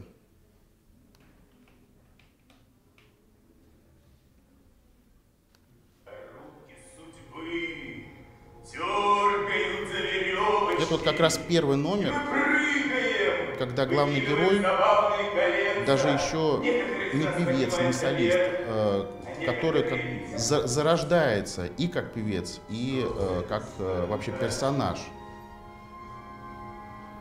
Да, естественно, это обусловлено очень сложной философской и такой жи жизненным, жизненным опытом э, писателя, то о Генри, по которому, собственно говоря, на литературная основа которой послужила либретто опера. Вот следующий фрагмент, где появляются э, музыканты.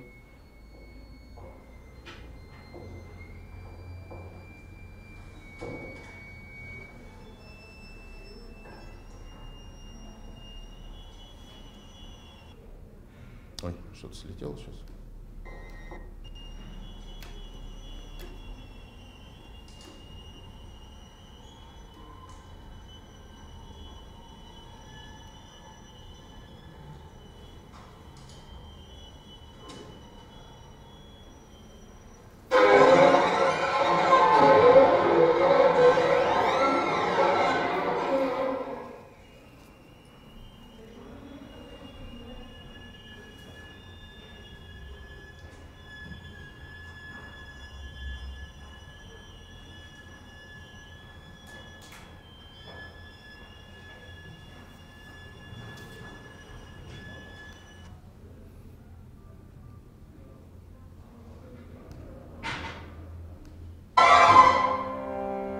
Вот уже переход непосредственно к, к монологу, где, собственно, начинается опера.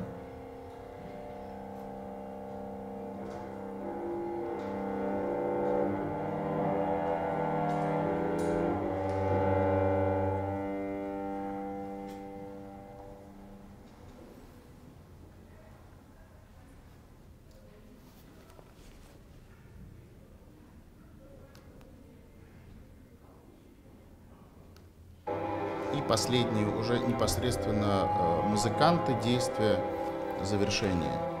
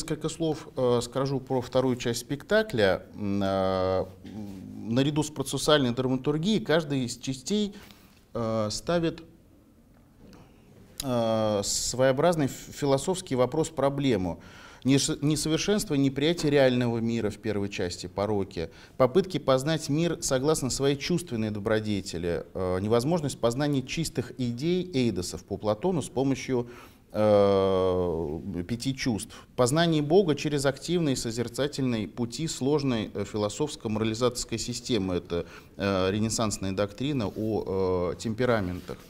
И в связи с художественной особенностью идейно-философского содержания балета использование предметной вербальной сценографии представляется невозможным, ну или, по крайней мере, э, представлялось невозможным в данной э, постановке. И согласно одному из свойств восприятия осмысленности, при котором объект идентифицируется по комплексу признаков, за основу был взят проксимальный стимул э, арт-объекта, являющийся невербальным выражением символьной концепции первого спектакля, который, в свою очередь, воссоздает в сознании публики э, дистальный стимул — это образ э, арт-объекта. И э, вот несколько фрагментов, когда, где как раз, э, сейчас вот вам это фотографии со спектакля, вот видите, здесь уже э, части ромба кубоктайдера как в виде трапеции. То есть уже сценография сама по себе, вот мультимедийная составляющая, становится частью зала, даже не частью сценографии, а частью вообще всего Э, спектакля, где э, находятся э, в том числе и зрители. И вот как раз на этом фото в кульминации, в части «Любовь» возникает ну, такая, я бы сказал, смесь сценографии, в которой мультимедийная именно инсталляция – вот давайте это э, посмотрим, которая э, выводит э, зрителей совершенно на новый уровень восприятия.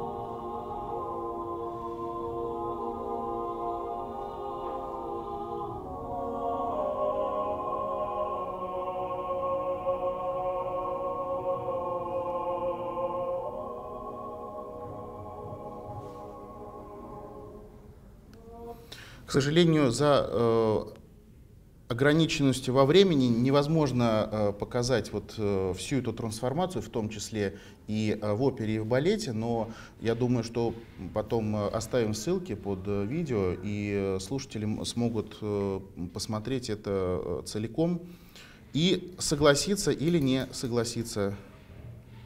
Играет ли технические особенности мультимедиа в сценографии большое значение э, или нет. У нас есть какие-то пока вопросы? Пока нет, можем продолжать. Угу, хорошо. А, задавайте вопросы, у нас осталось 15 минут а, для того, чтобы Артем успел на них ответить. А, тогда я расскажу как раз про сочинение, которое было написано, собственно говоря, под впечатлением от э, фильма Диги Вертова «Энтузиазм. Симфония Донбасса». А, и мало того, что написано под впечатлением, я еще использовал видеофрагменты, то есть использовал э, фрагменты э, этого кино. Это, кстати говоря, первый звуковой э, документальный э, фильм.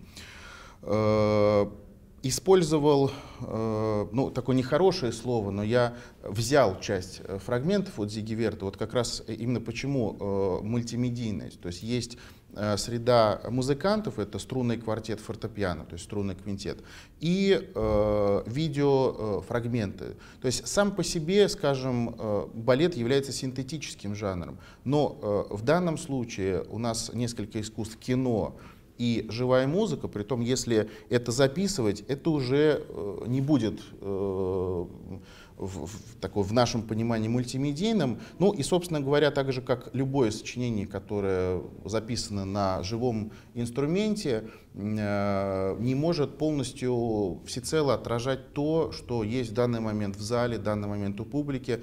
Э, скажем, легендарный дирижер, балетный дирижер Юрий Файер говорил, что «Спящую красавицу как балет» я интерпретирую в театре э, одним способом, да, э, если записанную пластинку, это другой вариант, э, ну и так далее. То есть вот в, в разных ситуациях мы знаем, можно ли называть это мультимедийным или нет.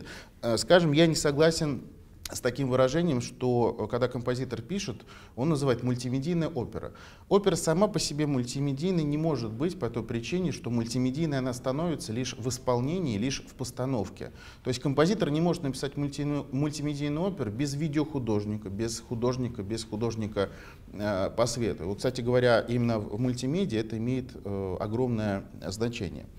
Ну, вернемся к сочинению. Это называется Вертов э, саундтрек для э, квартета струнного, э, для фортепиано, для инсталляции в виде фрагментов фильма Диги Вертова и тоже трансфор... претерпел трансформацию аудиодорожка. В чем здесь мультимедийность? Она заключается здесь в том, что живое исполнение коррелирует с аудиодорожкой, ну, так называемым music – и э, плюс э, видеофрагменты, вот, э, скажем, на этой фотографии, это, кстати говоря, сам Диго Вертов, режиссер. А, у нас да. появился вопрос. Да. А, тут интересуется, а, хотели бы узнать ваши приемы взаимодействия с режиссером, творческие решения осмысления вами поставленных философских аспектов, затронутых в произведении. Ну, вы знаете, на самом деле лично мой такой подход творческого взаимодействия с режиссером, э, я рассказываю, что я как композитор вижу так как э, все-таки главный в постановке в театральной это режиссер, то я всегда отдаю на откуп э, той концепции, которая возникает у режиссера.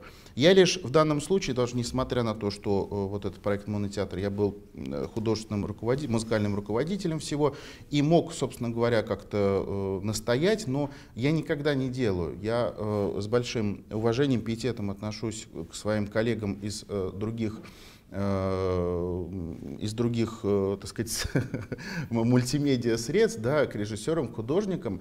И э, я считаю, что это э, очень важно, потому что когда человек творчески чем-то ограничен, я не говорю про то, что, скажем, э, тебе сказали написать симфонию для двойного состава оркестра, а ты написал для огромного малеровского состава. Нет.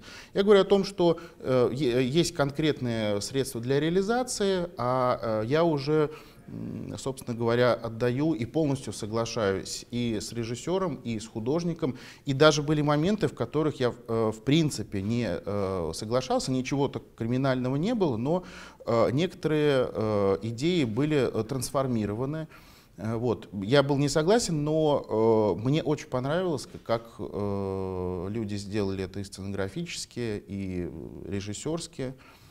Вот э, если о таком творческом взаимодействии. Да, спасибо. И еще один вопрос э, тоже подоспел. Э, спрашивают, что же легче, под готовую музыку построить сценарий или же наоборот, за сначала знать сюжет и потом уже к нему придумать музыку?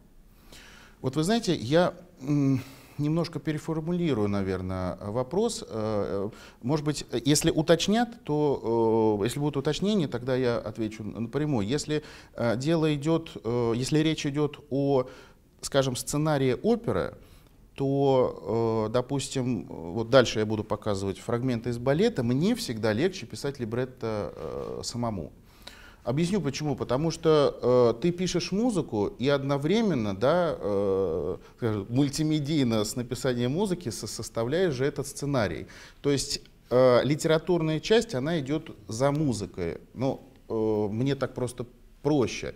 И то же самое э, в балете есть некое... Это не говорит о том, что вот балетмейстер э, говорит, тут вырежи, тут, э, ну, не прибавь, прибавить нельзя в музыке, но, э, собственно говоря, когда сказал, что нужно вырезать 20 минут музыки, а вы представляете, сколько это Э, в партитуре, то это очень сложно. Но если э, отвечать конкретно на вопрос, для меня проще, когда э, литературная неважно, сценарий это там, либретто, да, идет, э, пишется, создается непосредственно э, тогда, когда э, сочиняется, придумывается музыка. Спасибо, да, ответили на вопрос, пишут, что ответ получили. Угу. Больше пока вопросов нет, можете продолжать. Да, сколько времени еще есть? А у вас есть еще 10 минут. Отлично. Тогда э, вот я начал рассказывать про Вертов э, саундтрек. Это э, мультимедийные композиции для квартета, фортепиано, аудио, которое э, сделано на э, материале э, аудиодорожки, то как бы тейп-мюзик такое, и, э, собственно говоря, видеофрагменты. Вот мы видим на фотографии, сейчас я э, видео покажу, э, что э, этот дирижер, это сам Зиговертов, он дирижирует как бы из другого времени музыкантами, которые непосредственно сидят в этот момент на сцене. И э, когда я играю, исполняю сочинения с разными составами, когда-то, я имею в виду пианиста, то Э, просто мурашки, так сказать, бегут по коже, потому что э, на, на, настолько э, чувствуется, да, ну, давайте не буду рассказывать, просто покажу. И покажу несколько фрагментов, где именно происходит взаимодействие музыки, аудио, звон колоколов и так далее, и, соответственно, вот, дирижерство.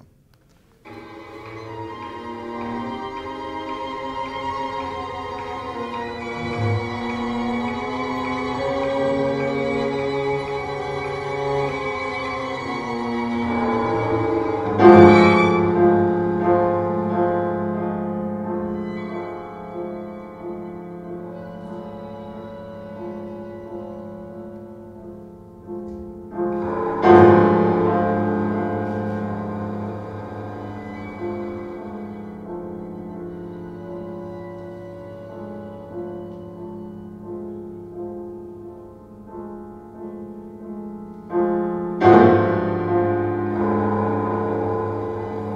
есть все то, что э, вы слышите, звуки предзаписаны, это все э, выверено по партитуре с таймингом, с, со всем.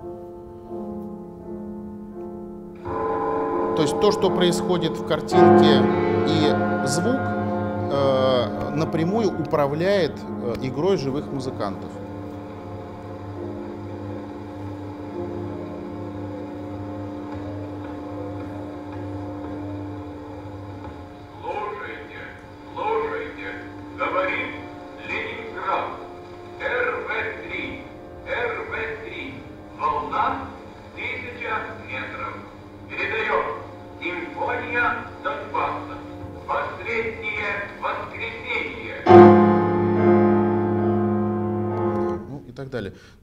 Хочу сказать э, про симфонию Донбасса, сочинение 2011 года.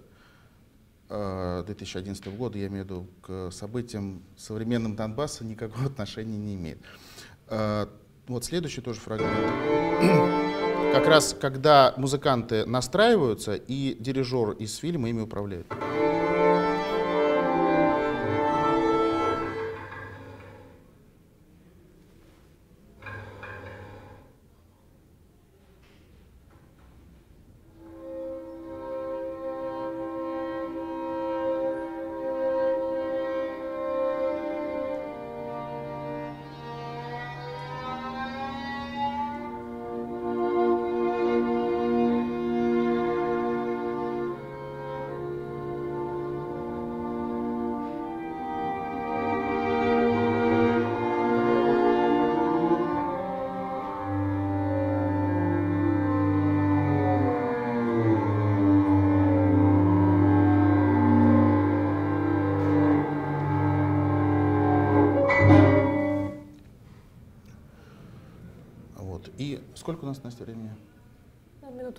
7-8. Хорошо. И э, сейчас тогда покажу последний вот еще эпизод с, с паровозом и э, перейду э, про видео мультимедийной декорации к балету.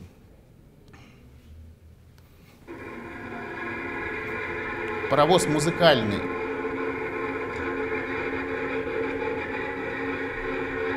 Как раз дает автакт музыкантам. Выступает в роли, можно сказать, дирижера.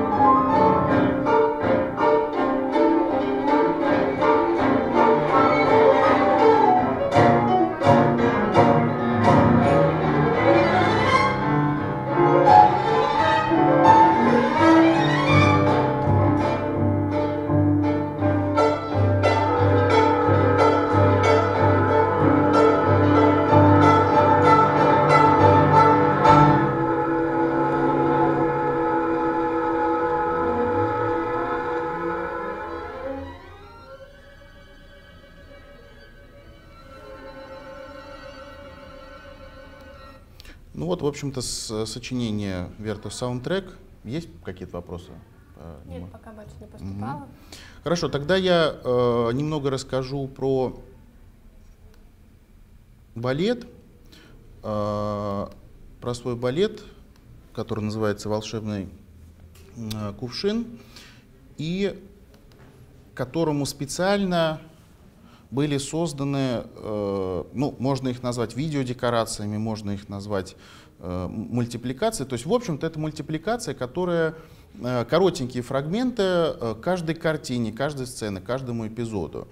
Сейчас вот я покажу. Это Извиняюсь, еще вот сейчас поступил Да. вопрос. Есть ли у вас работы с детскими спектаклями и, возможно, сказками? Вот как раз «Волшебный кувшин» балет, это является балет-сказка э, детский для детей, новогодний. Из-за того, что мало времени, не буду рассказывать, тоже ссылка, ссылка есть и, э, на, и на либретто, и он в Ютубе есть. То есть можно послушать, посмотреть. Премьера была э, в рамках фестиваля «Новогоднего елка». Это также было поставлено как э, интерактивный спектакль, где есть художественное слово, ну, сейчас я все как раз э, покажу. Значит, э, ряд, ряд картинок вот этих муль- мультипликационных, которые были э, специально созданы под э, каждую картину. Вот, э, скажем, что-то не играется.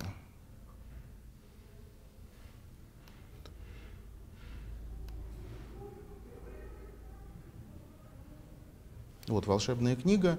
То есть э, рассказчик, который в этот момент находится на сцене рядом э, с оркестром.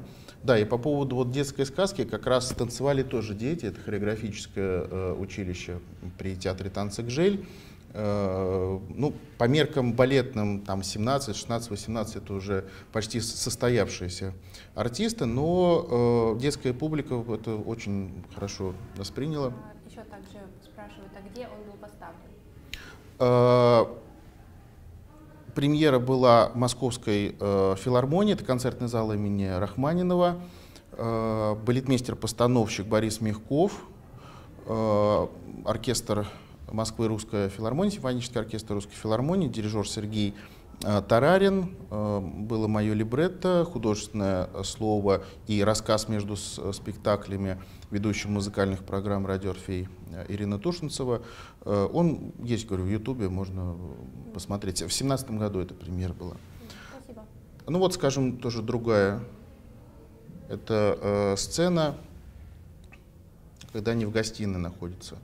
Э, содержание балета современное — это дети, которые пред, так сказать, новогоднюю ночь празднуют с гувернанткой, так как их родители опять задержались э, на работе. Вот.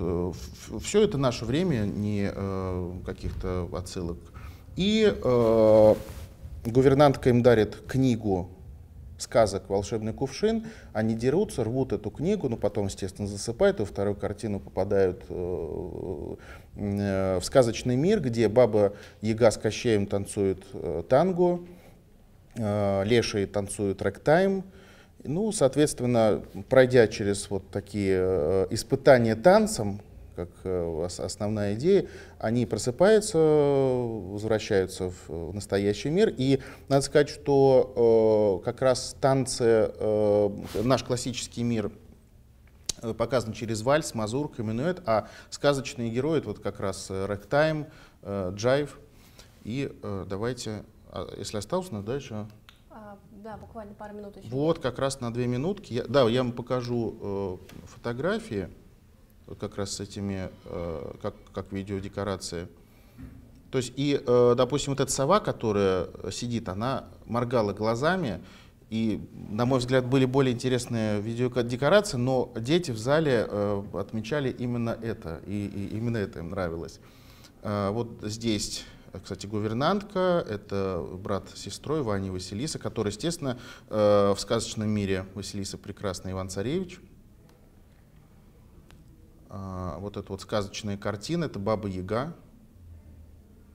И все само по себе пространство, да, вот я э, начал с того рассказывать, что сам по себе балет не может быть мультимедийным, это синтез искусств. Но э, здесь было и э, оркестр, и балет, и видеодекорации, плюс еще и интерактивное ведение этого всего мероприятия. Артем, пока у нас осталась минутка, последний вопрос. Да. А, спрашивают, кто ваши любимые композиторы, которые вас вдохновляют? Вы знаете, когда э, мне было где-то до возраста, наверное, лет 13-14, э, моим любимым композитором и пианистом, и дирижером э, в одном, как говорится, флаконе был Сергей Васильевич Рахманинов. Но чем больше я работаю в искусстве композиции, чем больше я узнаю, то с каждым днем любимых композиторов у меня прибавляется все больше и больше. Спасибо. Ну, давайте в завершение послушаем как раз э, фрагмент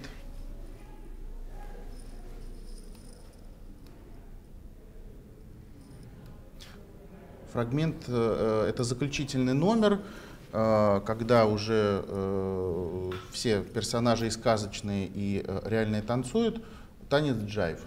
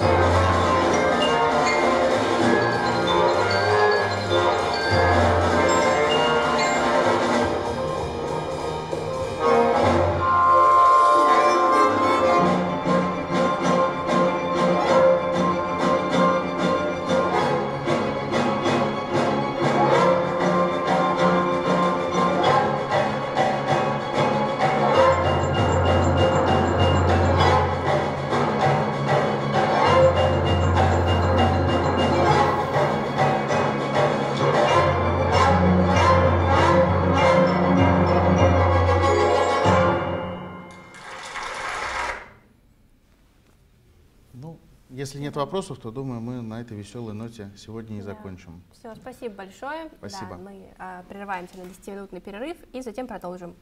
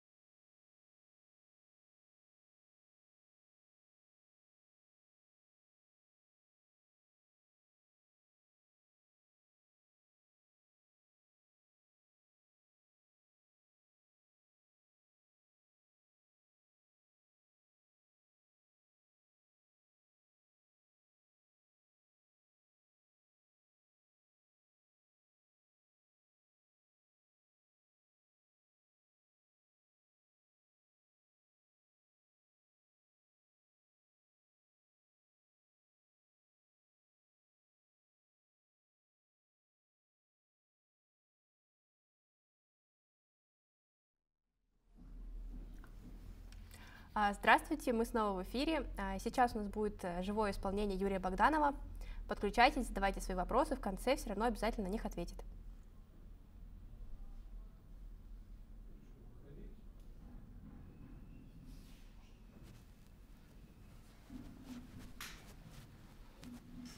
Здравствуйте. Здравствуйте. Рад приветствовать всех слушателей, композиторов, любителей музыки и пианистов, потому что тема сегодняшнего, сегодняшнего выступления, сегодняшней дискуссии — это э, композиция, основа композиции на фортепиано. А, ну, вначале я скажу несколько слов о себе. А, я пианист, концертирующий, а, профессор Российской академии музыки имени Гнесиных. Закончил Московскую консерваторию по классу фортепиано. У меня учителя были замечательные. А, в Центральной музыкальной школе, где я учился, я учился у Анны Даниловны Артобалевской, у Александра Шотчем Даянца, у Алексея Аркадьевича Насеткина, а в консерватории у Татьяны Петровны Николаевой, Михаила Сергеевича Воскресенского. То есть это такие звездные имена, но это, как вы знаете, имена выдающихся пианистов, хотя это тоже не совсем точно сказано. Например, а, Алексей Насеткин и Татьяна Николаева были великолепными композиторами.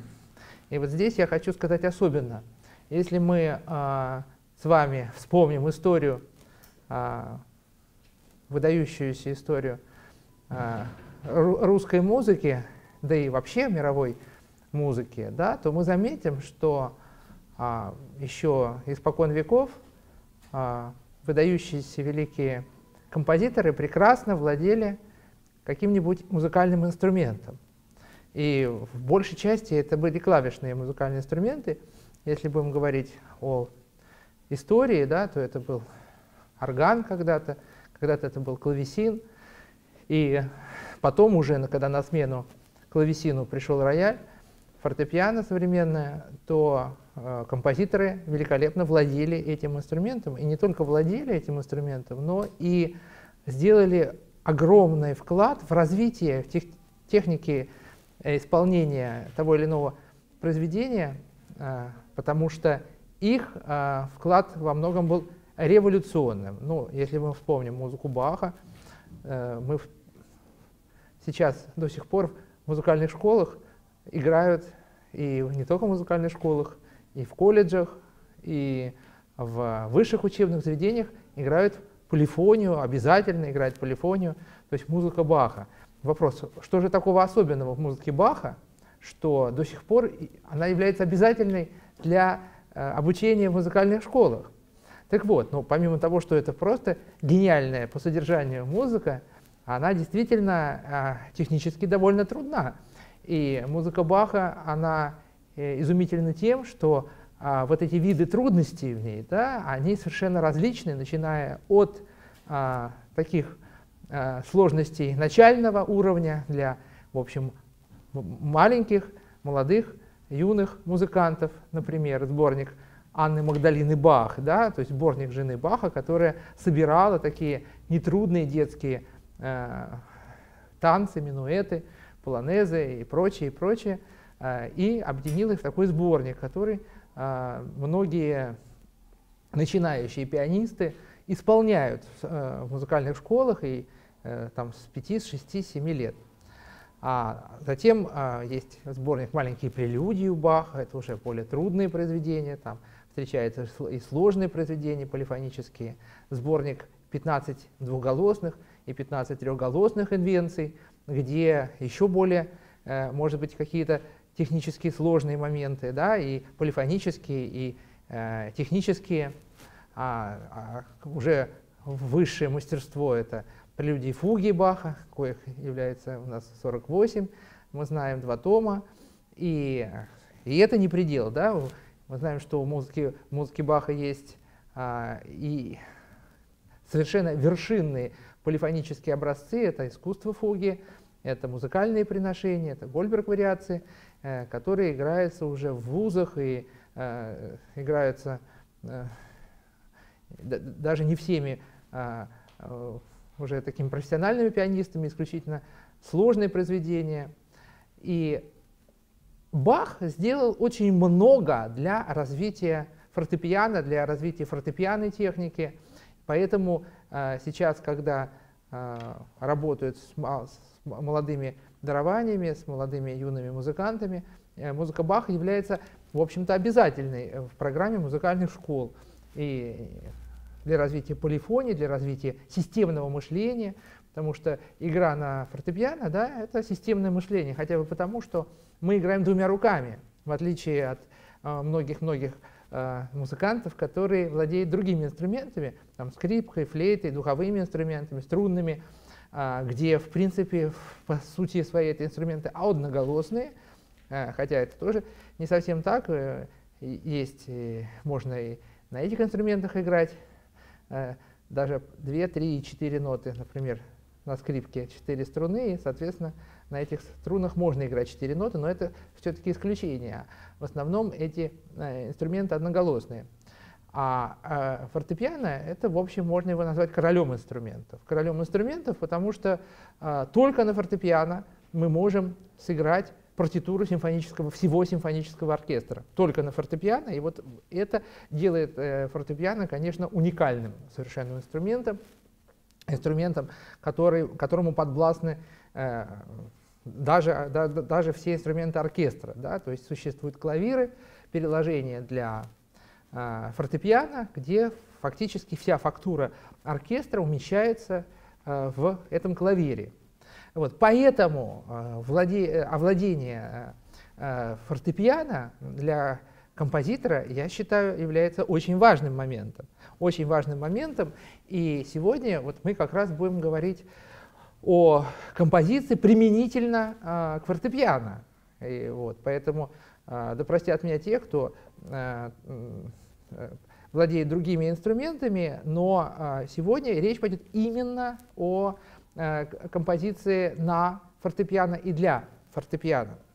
А, естественно, как человек, который учился э, всю жизнь играть на фортепиано, э, я сегодня выступаю таким защитником и, можно сказать, агитатором того, чтобы все композиторы, это очень важно, все композиторы старались в той или иной степени овладеть игрой на, э, на фортепиано, на рояле, а, ну, хотя бы потому, чтобы а, понимать, какие сочетания, какие а, фактуры а, удобные, какие фактуры а, и какие звуковые сочетания, аккорды передают тот или иной художественный образ. А, а, мы об этом чуть позже поговорим. И в этой связи я хочу заметить, что мне очень повезло в жизни, что мой первый педагог по композиции была замечательная э, музыкант Татьяна Николаевна Родионова. Вот. Татьяна Николаевна Родионова преподавала в музыкальной школе имени Прокофьева. И несмотря на то, что я сам учился в Центральной музыкальной школе, вот Анна Даниловна Артоболевская всем своим э, малышам, которые э, с детства э, проявляли склонность э, к композиции, она э, очень рекомендовала вот, походить и позаниматься композиции именно у Татьяны Николаевны Родионовой, потому что именно она имела свою уникальную методику по развитию э, навыков сочинительства, навыков композиции у детей. Вот. Ну, не только композиция, а еще такого, в общем, редкого жанра, как музыкальная импровизация художественная. Подчеркиваю, художественная импровизация — это когда, собственно, произведение рождается непосредственно вот сиюминутно, а, когда кто-то из слушателей, из зрителей, из друзей может дать вам какой-то художественный, какой художественный образ, какую-то тему, а, которая а, может выражать какое-то чувство, например, там, радость или огорчение, да? или какой-то образ, например, зима, весна, лето, ну, все что угодно на самом деле, хоть э, поездка на автобусе или поход к зубному врачу. И это тут же э, воплощается в какую-то конкретную пьесу, в какое-то музыкальное произведение, в общем, э, относительно законченное или вообще законченное. Да? Э, то есть разница фактически только в том, что импровизация не записанное произведение, вы знаете, да, что когда композитор сочиняет, он э, это свое сочинение обязательно должен записать. нотами на бумагу. А потом, ну, если получилось хорошо, можно это и сдать, но а, если произведение не записано, то оно во, есть, фактически не сочинено.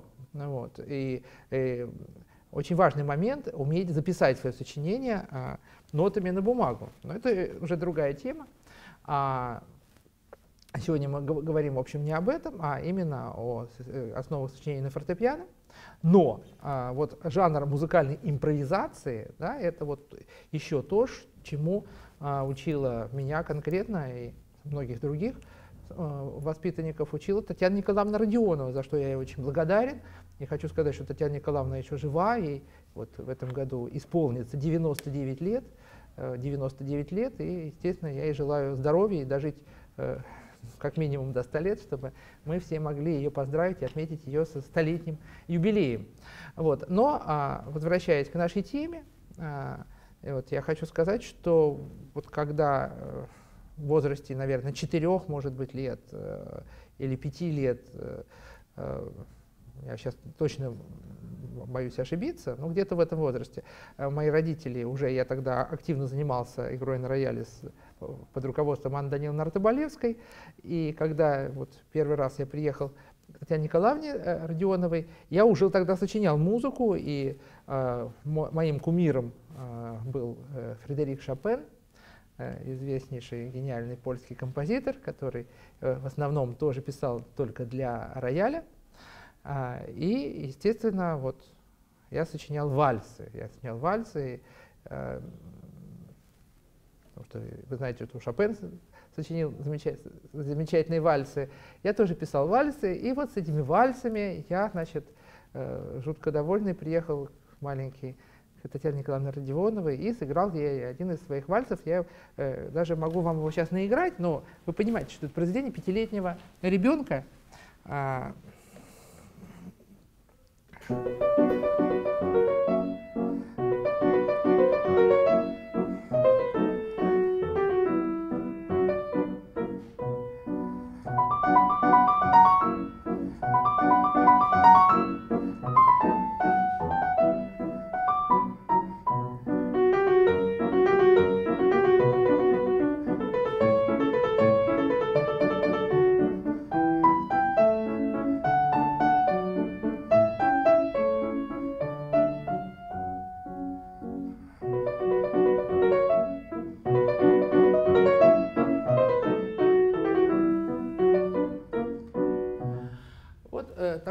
примерно был вальс. А, ну, естественно, я тогда еще не владел э, теми самыми основами композиции, а просто писал, э, основываясь на то, что слышал в музыке Шопена. И я, конечно, думал, что Татьяна Николаевна Родионова скажет, что это очень хорошо, прелестно и замечательно. Но вот она, к сожалению, сказала, что это ужасно, и что э, когда мои родители спросили, а что в этом ужасно, она говорит, ну ужасно то, что здесь фактически только две гармонии, тоника и доминанта. И э, я, естественно, еще, в общем-то, плохо даже знал, э, что такое тоника и доминанта, ну, знал уже, но как бы так еще не, не твердо. И, собственно, вот с этого возраста, с, э, с пятилетнего возраста, начались э, регулярные уроки э, композиции, вот, ну, как регулярные, где-то меня возили, наверное, раз в месяц в, то, в, то, в, то, в том возрасте, где-то примерно. Это, конечно, очень мало и очень редко, но вот примерно вот факт в том, что это было раз в месяц. И э, Татьяна Николаевна начала, собственно, вот с этого возраста мне там, по крупицам рассказывать о тех самых основах э, сочинения на фортепиано, которых я вам тоже хочу немножко рассказать сейчас. Э, конечно, я уверен, что вы все это знаете, но тем не менее, а, а, вот Татьяна Николаевна тоже с детства меня приучала, чтобы знания должны быть какие-то такие системные, систематизированные. И она рассказывала мне, собственно, что такое мелодия, да, вот, какую роль она играет в, в сочинении музыки, да, а, из чего состоит мелодия. Да, и, естественно, я сейчас вам не буду давать э, все эти определения, да, вот, э, это можно посмотреть в энциклопедии или в музыкальном словаре, но тем не менее, там, что из чего состоит мелодия, да, что существует есть такое понятие музыкальная интонация, да, интонация, музыкальный мотив, да, э, то есть это какие-то отдельные части даже мелодии, это не целиком мелодия, это ее какая-то часть этой мелодии или там может быть одна-две ноты, э, вот, ну, например, вот такой пример, вот.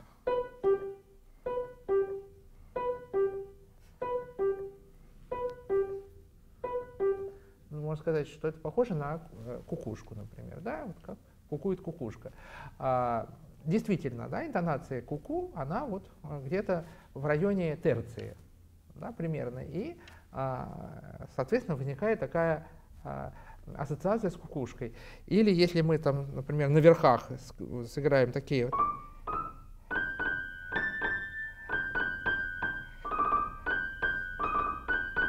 нас возникнет ассоциация с птичкой с какой-то, да, когда поет птицы, э, возникает такая ассоциация, да, сразу, да, то есть ну, получается, что фортепиано может передавать сразу какие-то нам э, образы, э, которые мы слышим в лесу или слышим вокруг себя, в природе и так далее.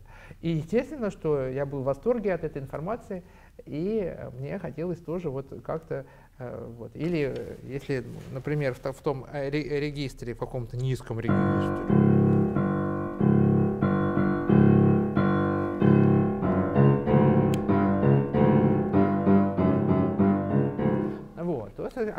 возникает ассоциация с каким-нибудь медведем или каким-нибудь таким животным, э, э, большим, неповоротливым, э, вот, и, может быть, немножко страшным. Ну и так далее. Вот, то есть, в принципе, дети имеют все, все дети имеют образное мышление, поэтому дети так любят играть какие-то музыкальные пьески, они не так любят играть этюды или какие-нибудь сонатины, но при этом очень любят играть музыкальные пьески, поэтому великие композиторы собственно, и прошлого, и, и настоящего. Вот. А, многие сочиняли детские пьесы, детские альбомы. Вы знаете, детский альбом Чайковского, детский альбом а, а, Прокофьева, э, детская музыка Шостаковича, альбом для юношества Шумана – ну и так далее. Собственно, не буду все сейчас перечислять. Я к чему сказал, что я вот тоже написал детский альбом, вот я сейчас вам покажу его, как он выглядит, и фактически это вот работа, которая была в пандемию, пока вот все сидели дома, вот, и э, я продолжил традицию написания детских альбомов. Кстати, мой педагог, великий профессор Насеткин, он тоже написал детский альбом, замечательный, 12 пьес для фортепиано, у меня тоже 12 пьес, и э, вот этот детский альбом вышел под э, сочинение один. Да? То есть, несмотря на то, что я всегда писал музыку всю жизнь, но не, у меня никогда не было времени этим серьезно заниматься, вот так серьезно, чтобы издавать свои сочинения как-то, да, и вот только благодаря, как ни странно, благодаря вот этой э, ситуации, которая сложилась в мире, когда все были заперты по своим домам, по своим квартирам, вот появилось время на то, чтобы воплотить свои мечты, которые люди все откладывают годами, годами, годами, годами откладывают. И вот так получилось, что в этом э, есть какой-то огромный плюс. Э, э, потому что уже написав детский альбом, э, я начал писать прелюдии, вот изда, уже изданы 12 прелюдий для фортепиано, а остальные 12 прелюдий пишутся в настоящий момент, и уже практически они почти закончены, то есть это будет цикл из 24 прелюдий, естественно, каждая прелюдия будет написана в своей тональности. Вы знаете, что у нас 24 тональности существует э, э, в музыке, и вот в каждой тональности будет написана каждая прелюдия. Поэтому, ну это опять-таки идея так сказать, э, уже такая древняя. И вы знаете, что существует 24 прелюдии и фуги у Баха. Э, если говорить, что с фугами, или там 24 прелюдии и фуги Шостаковича, но помимо этого существуют циклы, когда 24 прелюдии писал и Шопен, э, уже без фуг, 24 э, прелюдии писал Скрябин, писал Рахманинов, писал Шостакович и многие-многие другие уже современные композиторы. Существуют прекрасные прелюдии фуги у Слонимского, у Полторацкого, у Задиратского и так далее. И э, вот я тоже решил продолжить такую традицию написания 24 прелюдий для э, фортепиано. Но возвращаюсь опять к теме, э, к теме э, сочинений основ э, композиции. Э, и, значит, вот Татьяна Николаевна Родионова мне объясняла, да, она рассказала про мелодию, что очень важно уметь сочинить мелодию, да, или сочинить какой-то мотив. И, но этого мало. Да? Она, естественно, говорила, что существует мелодия, но также существует гармония. Да? То есть а, гармония, например, которая может выполнять либо аккомпанирующую какую-то роль, и тогда это будет мелодия и аккомпанемент. Как правило, ну, приводились примеры, когда в правой руке играется мелодия, в левой руке, например, играется аккомпанемент, и масса примеров. Масса примеров, когда там, э, если брать венскую классику, например,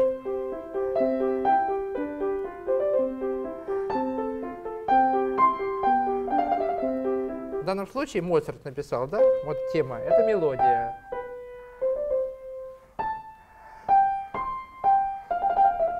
А, а вот это, так называемые альбертовые басы, да? Видите, а, как бы роль э, левой руки в данном случае, да, она в том, чтобы раскрыть ту самую мелодию, и чтобы эта мелодия была еще более красивая, более... И, и это и удается, потому что вся гармоническое э, э, насыщение, да, оно за счет левой руки. То есть у нас вот прослеживается тоника, да, то есть первая ступень, да, у нас прослеживается субдоминанта, то есть четвертая ступень, потом опять тоника, потом э, доминантовый э, секстаккорд и соответственно, тоника. Да? И получается, что вот эта дивная мелодия, которая сама по себе очень красивая, она с левой рукой, естественно, а с фактурой она получается вообще прекрасная.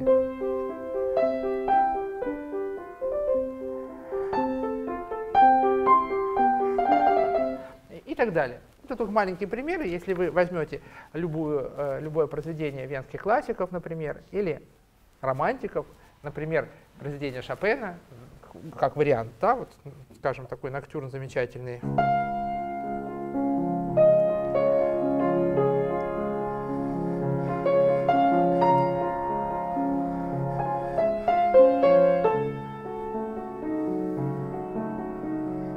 У нас мелодия в правой руке идет,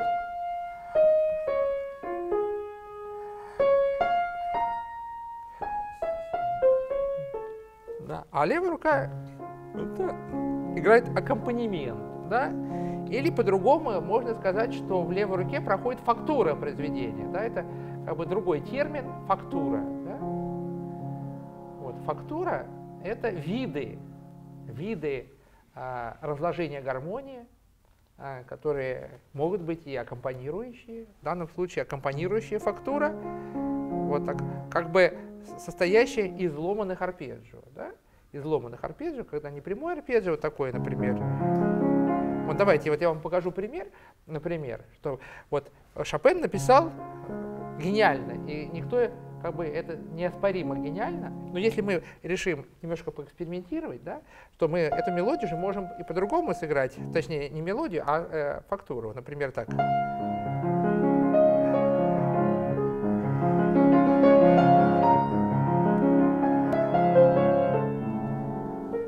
И получилось, что у нас уже изменился характер. Да? Если здесь, вот, вот здесь характер более такой, знаете, доверительный, интимный какой-то, да, как будто вот что-то такое важное происходит внутри сердца человека, да, то если мы такой фактор, смотрите, такое ощущение, что мы уже поплыли по морю, и уже, соответственно, та же мелодия звучит где-то в морских э, глубинах или или, так сказать, на каком-то корабле. Вот вам какая э, поразительная разница, когда мы меняем фактуру. Да? А если мы превратим это в вальс, например,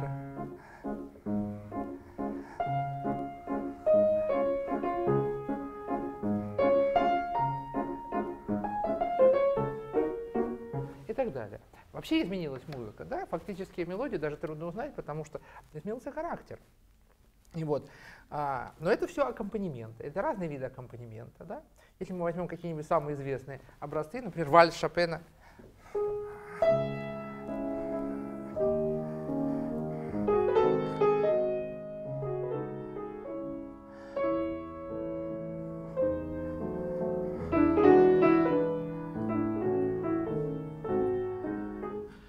дивная мелодия, вот она, эта мелодия. а левая рука играет.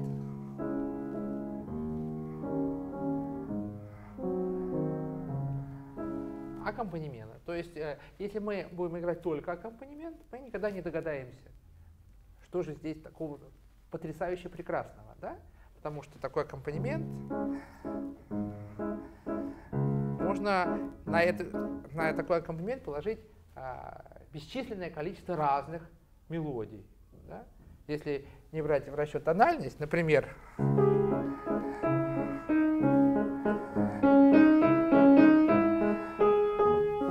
и так далее. Да? Шостакович, начало вальса из его джазовой сюиты и так далее.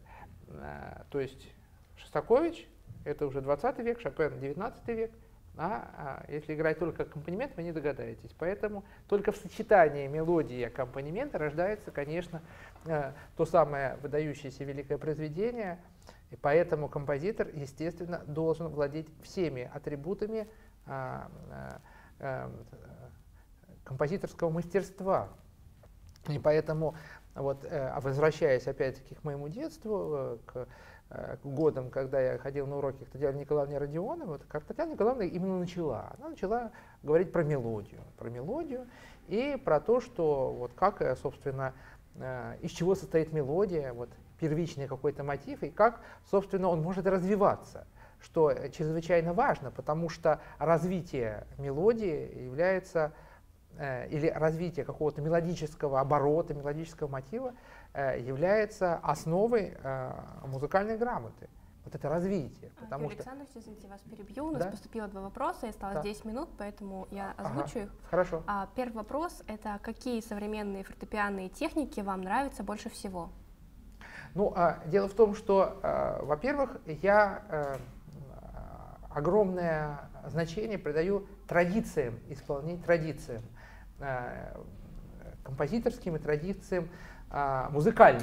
Вот, учитывая, что а, существовала великая история сочинения музыки, да, и она еще началась задолго до Иоганна Себастьяна Баха, и потом она развилась, как вы знаете, э, полифония, да, эпоха барокко, например, а потом классицизм, соответственно, романтизм, импрессионизм, да, экспрессионизм, ну, если говорить про музыку раннего, например, Шонберга, да, экспрессионизм, а потом а, а, там, с одной стороны неоклассицизм, с другой стороны э, уже додекафония, да, когда компози... нововенская школа, композиторы такие как э, Шонберг, Берг, Вебер и так далее. Соответственно, с одной стороны, с другой стороны это неоклассика, как, например, Прокофьев, с его там, классической симфонией.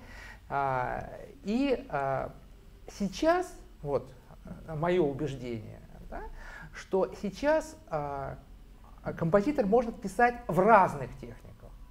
В разных техниках, потому что нам доступен весь арсенал. То есть я являюсь противником того, что, вот, например, говорят, ну вот, вот э, так, так сочинял Бах, значит, так сочинял Шопен, так сочинял Скрябин, так сочинял Прокофьев, вот. А сейчас вот а, дело в том, что мы опираемся на нашу историю, мы опираемся на наши традиции. И поэтому, естественно, а, мне кажется, композитор должен, безусловно, владеть вот всеми этими техниками, и техникой, полифонической техникой, да, и техникой, а, соответственно, разных, сти, разных стилей, владения стилем и, и, и вот этих барокко, и классицизма, и романтизма, и импрессионизма, а, экспрессионизм и так далее, владеть, да? Но, естественно, пытаться создать свой музыкальный язык, собственный музыкальный язык, и опираясь на вот эти все э, традиции, техники, стили музыкальные и, и так далее, создать свой музыкальный язык. Да? Это чрезвычайно трудно. И если бы это было легко, у нас бы сейчас был, была такая же плеяда вот тех же композиторов, которые мы все время говорим, Бах, Бетховен, Брамс, там, Рахманинов, Чайковский. Но нет, композиторов много, композиторов очень много. К сожалению, большинство имен мы сейчас вообще не знаем. Это ужасно, но это такая реалия. То есть знает узкий круг э, тех, кто занимается, серьезно занимается либо музыковедением, либо теорией музыки, либо опять-таки композиторским искусством, кто изучает. Вот, например, я очень люблю композитора э, Карла Вайна, Это австралийский композитор, э, современный, наш современник. Мне очень нравится, как вот он пишет. Те, кто не знают, вот вопрос задали, да, какие техники мне близко, да, вот, послушайте музыку Карла Вайна, и э, есть записи, вот моя, одна из моих учениц, к сожалению, трагически ушедшая из этой жизни, в 28 лет, Элина Валиева, она записала как раз сонату Вайна номер один для фортепиано, и на YouTube можно посмотреть, э, как, вот, как же сочиняла, э, э, как сочинена соната Карла Вайна. Вот. Но опять-таки, э, то есть мы можем использовать и э, те приемы, которые, э, которые э, уже нам подарил 20 век, и, э, то есть и сонорику, да, и посмотреть, как, как же писал Шнитки, Денисов, Губайдулина, как бы те авторы, которые считаются классиками э, уже второй половины 20 века, да, э, эти, ну, естественно, многих других имен, пусть не обижаются те, кого я не назвал, но вот, вот Денисова, Эдисон Денисов, Альфред Шнитки и Софья Губайдулина, да, вот такие как бы апологеты Э, вот этого направления. И вот музыка Шнитки, я, например, очень люблю музыку Шнитки, потому, особенно ее образный ряд. А, но а, там, опять-таки, самое главное не техника. Вот у меня вопрос вот ко мне спрашивают, да, какими техниками. Но, может быть, самое главное не техника, а техника это средство, только лишь средство для воплощения а, художественного э, образа. Поэтому если мне надо изобразить, я не знаю, подводное царство, да, то нельзя не вспомнить римского Корсакова, правда, который воплощал его там э, какими-то увеличенными интервалами, например.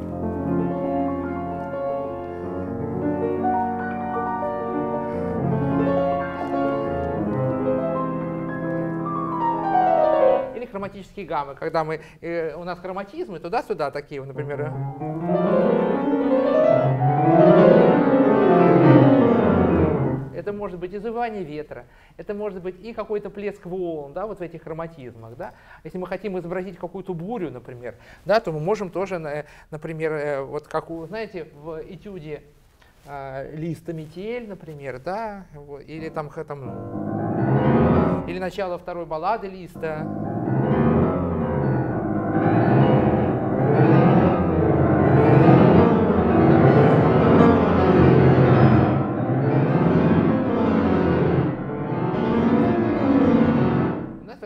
Ощущение, что это ветер завывает, и, так сказать, метели, и буря какая-то. Но это вот э, как бы техническое средство, исключительно. В данном случае это хроматическая гамма, да, например, да, э, сыгранная в разной динамике, от пианиссимо до фортиссимо и обратно. Да. Например, вверх-вниз, вверх-вниз, ощущение волн каких-то рождается. Да. Вот, поэтому э, вид я, в общем, приветствую все виды техники, могу так сказать, да, если эти виды техники, они а, направлены на раскрытие того художественного образа, который композитор вложил в свое сочинение. Это мой ответ мой на вопрос. А какой второй вопрос? Да, спасибо большое, да, у нас осталось буквально три минутки. А, второй вопрос – это какая самая неожиданная тема для импровизации вам была предложена? Ну вот, пожалуй, у меня вот была поход к стоматологу подход стоматолога, я уже не помню, что я сыграл, но а, могу вам при, показать пример вот этой импровизации, и на этом тогда и закончить а, а, такой короткий мастер-класс. А, ну, представьте себе какого-то там мальчика, да, э, например, да, веселого мальчика, которому сказали, что ему надо там идти к, к ну, не знаю, лет 9-10, да.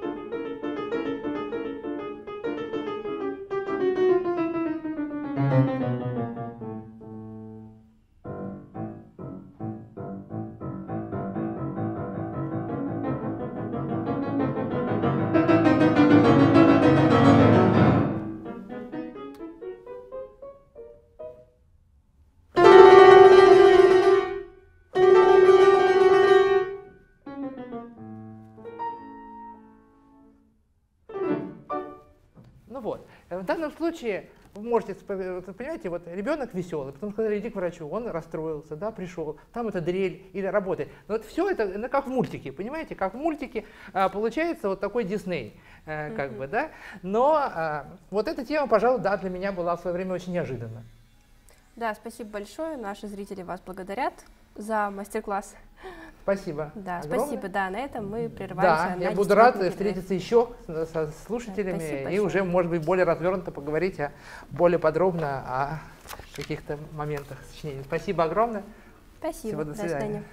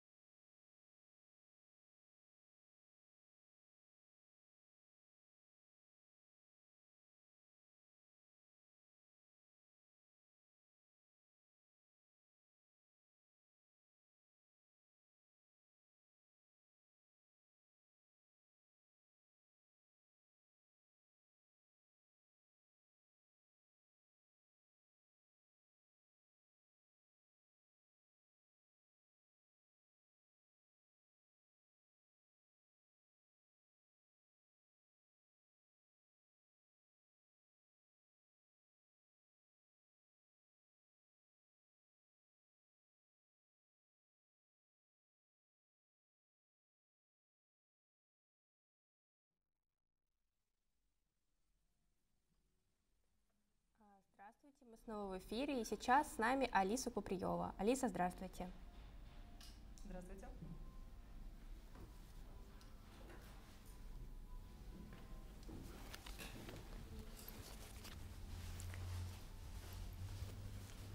Здравствуйте, всем привет, всем добрый день, кто нас смотрит. Мы продолжаем тему, очень рада здесь быть. Спасибо за приглашение. Замечательные новые классики о Москве. Это прекрасная программа. И сейчас мне бы хотелось вот в контексте всех предыдущих спикеров поговорить о новых форматах э, бытования концертной практики, о тех традициях, которые существуют испокон веков, и о том, как это связано с творчеством современных композиторов, композиторов ныне живущих. Тема, конечно, очень обширная, и многие меня знают не только как пианистку, но и как продюсера проектов камерно-инструментальной музыки. И сегодня, конечно, я затрону еще и эту тему, тему лофт-филармонии, о том, как мы сотрудничаем с молодыми композиторами э, современности. Но обо всем по порядку. Дело в том, что первый вот такой вот тезис, о котором мне хотелось бы поговорить, это вот день сегодняшний. Сегодня мы находимся в 2021 году, в 21 веке, где существует огромное количество вообще мероприятий, событий, ивентов. И, ну, в общем, наверное, два таких рукава основных – это традиционные форматы и форматы инновационные. И вот традиционные форматы, они не вызывают, в общем-то, вопросов. Все знают, что это филармоническая практика, это практика консерваторская, это Концертная практика — это, собственно, концерт, когда есть конферанс, есть исполнитель, это может быть солист, это может быть камерный ансамбль, это может быть оркестр, это может быть какая-то там опера в концертном исполнении, или там опера в обычном исполнении, да, в театральном, там, это может быть балет, все что угодно.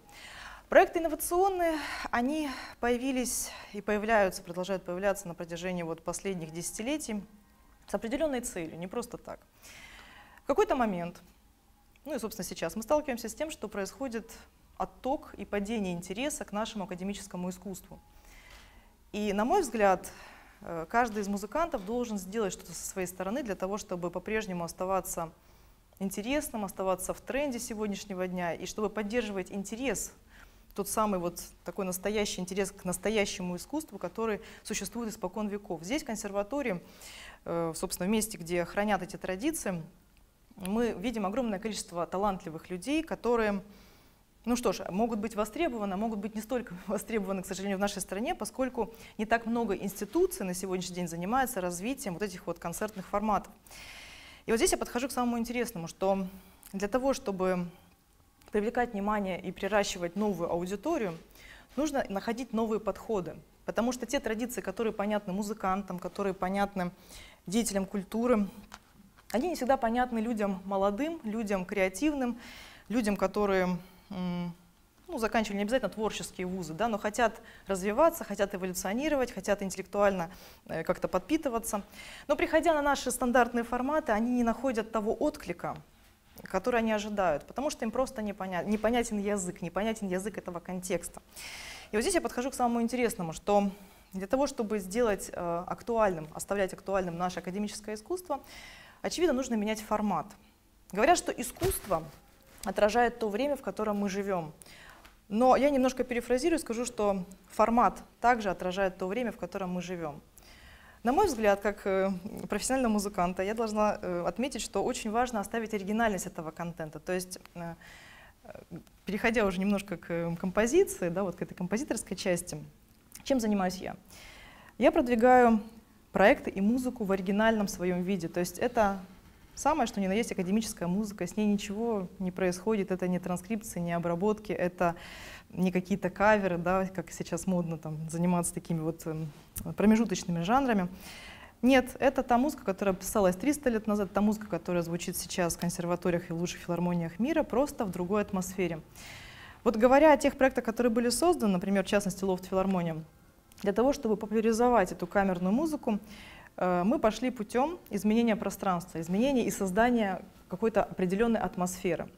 В частности, это минимум света, Это современное пространство лофта, так называемый э, в котором нет каких-то лишних отвлекающих деталей, где нет ступеньки сцены, где люди находятся в помещении с очень хорошей акустикой, но ряды не идут вот просто вровень да, со сцены, или, может быть, они э, даже не находятся внизу, то есть э, артист не находится на каком-то пьедестале.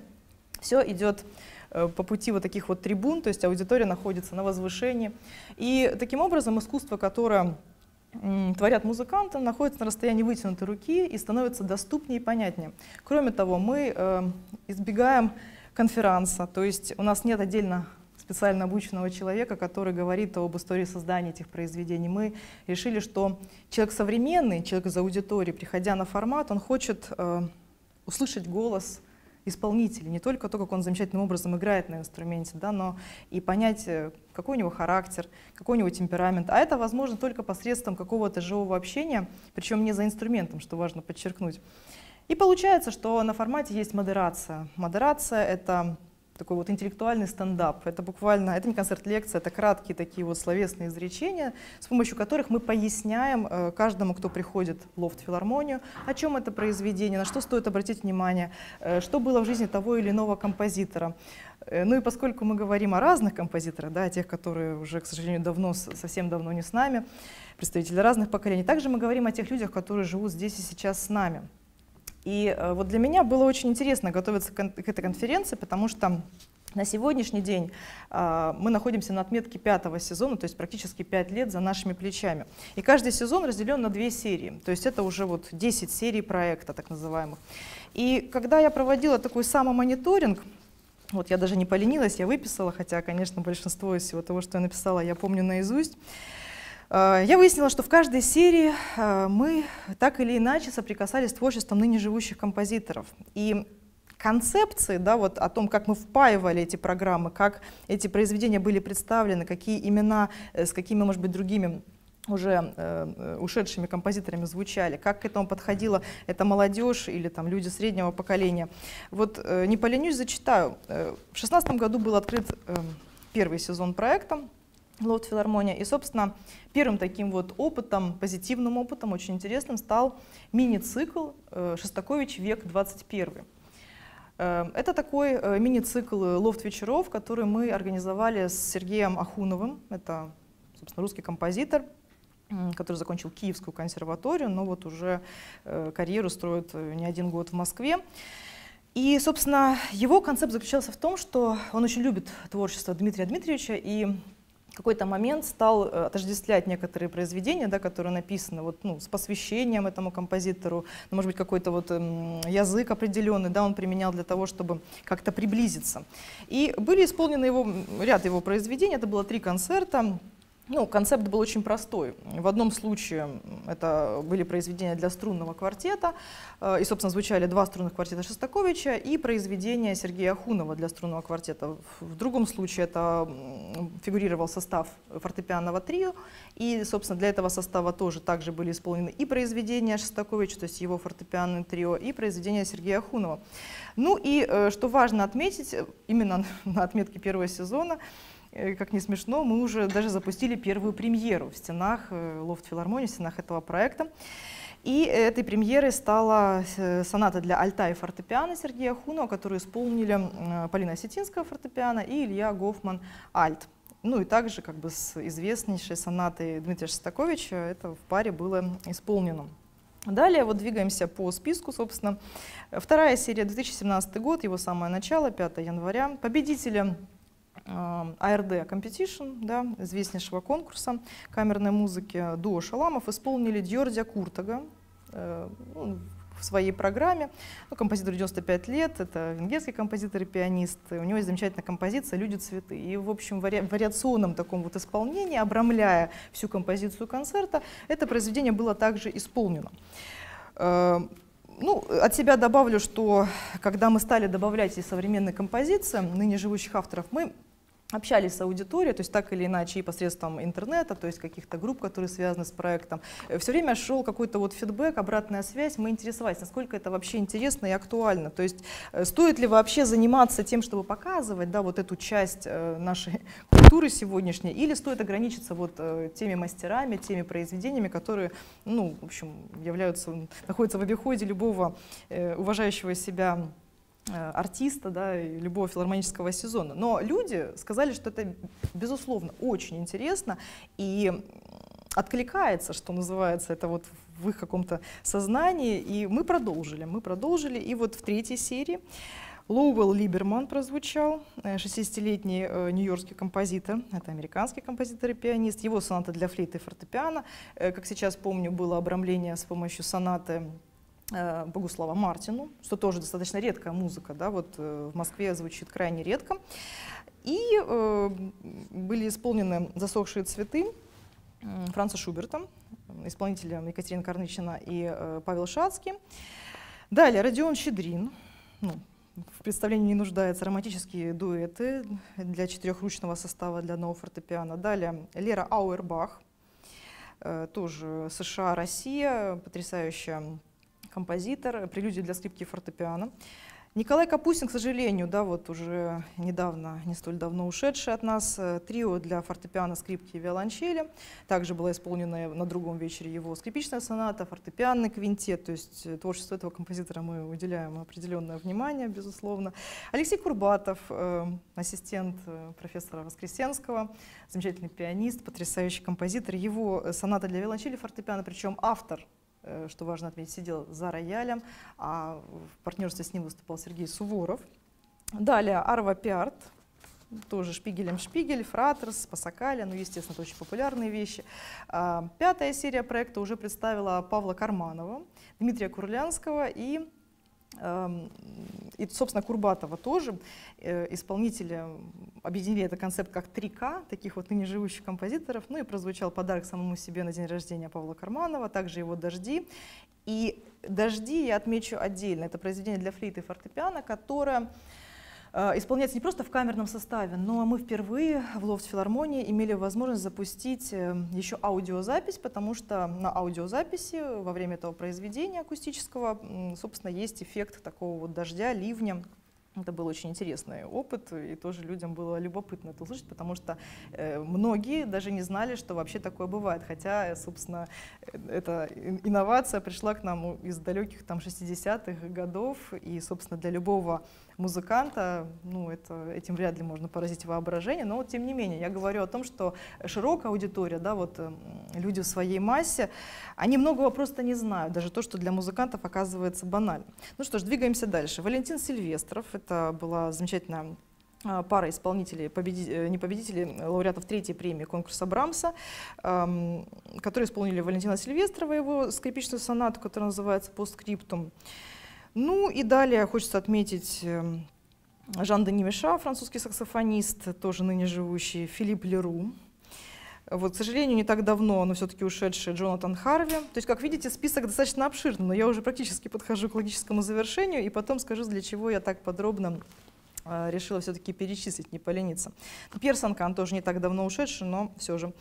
Э, Юн Исан, норы для виолончели и фортепиано. Геннадий Банщиков, ныне здравствующий, слава богу. Недавно ушедший Жан-Мишель Дамас и Кшиштоф Пендерецкий. Но на тот момент, когда исполняли, Кшиштоф Пендерецкий был жив. Также Ефрем Подгайц и э, Виктор Полторацкий, хо- хочу его отдельно тоже отметить, он ушедший, но при этом композитор, который незаслуженно мало, на мой взгляд, исполняется. Ну и при- уже подходя к этому году, премьера 9 и 10 серии, это, собственно, переложение э, виолончельной сонаты, скрипичной сонаты, извините, Эдварда Грига номер 3, опус 45 до минор, которая будет фигурировать в видеоряде, который я покажу чуть позднее, в переложении для виолончели, которое сделал Иван Сканави. И также э, девятая серия проекта была представлена э, эксклюзивной абсолютно сонатой Филиппа Гласса для скрипки и фортепиано, которая была написана в 2008 году, то есть буквально, можно сказать, вчера. Почему я решила все это выписать и рассказать об этом? Дело в том, что когда я думала все-таки я не являюсь композитором, да, я являюсь продюсером и пианистом, то есть человеком, который может по-другому взглянуть на проблемы комп композиции, если таковые вообще существуют, но они, безусловно, существуют. Как быть композитору, который пишет, и, очевидно, пишет в стол, и даже есть такая шутка, э, как узнать, великий перед вами композитор или нет, да, ну, ну нужно подождать, пока он, э, вот, и потом, вот, если великий, значит хорошо, не великий, ну что ж. На самом деле я совершенно другого мнения придерживаюсь, и я считаю, что у композиторов тоже есть такое понятие, как мода.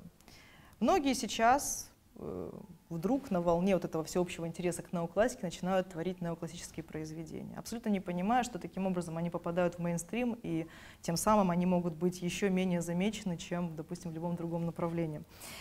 Поэтому я призываю каждого композитора прислушаться к себе и все-таки творить и писать э, в том направлении, в котором он ну, вот, наиболее себя ярко чувствует и представляет. Потому что вот такие вот проекты вроде как по типу лофт-филармонии, они способны все-таки представить какое-то ну, какую-то возможность, какие-то вечера, какое-то выделить время для того, чтобы сопрячь это с творчеством других композиторов. То есть что я имею в виду?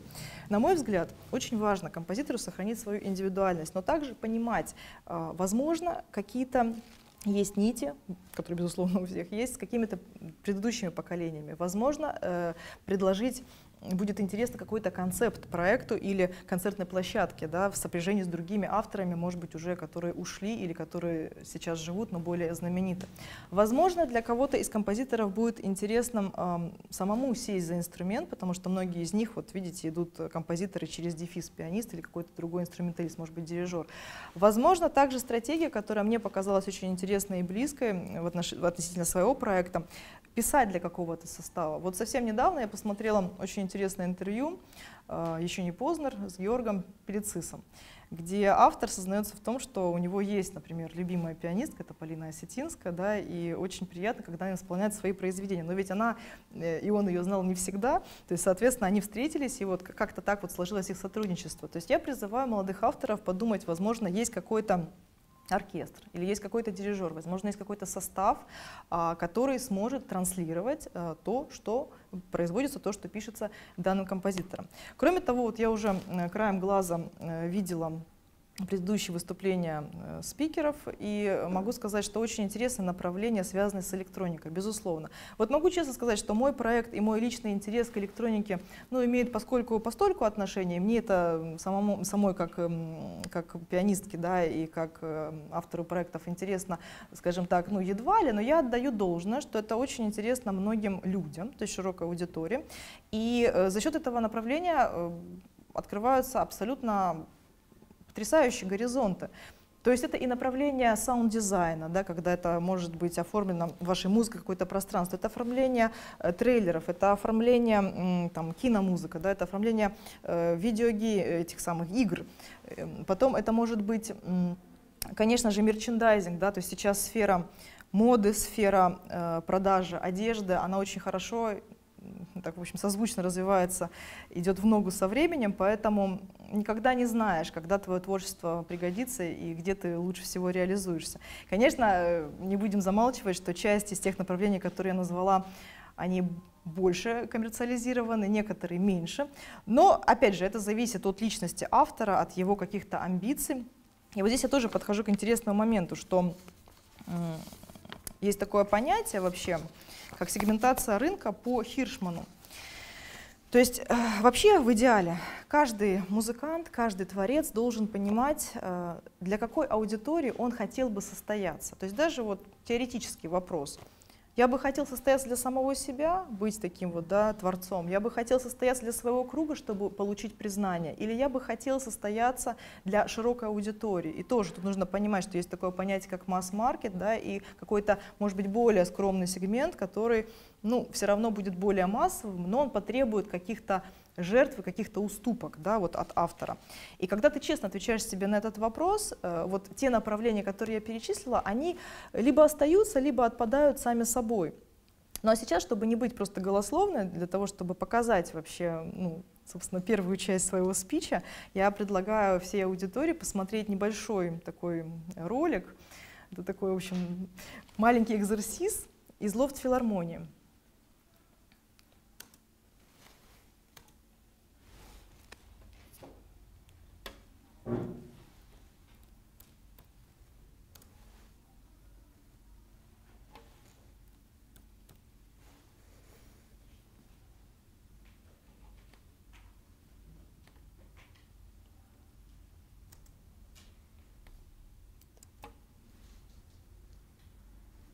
Добрый вечер, дорогие гости.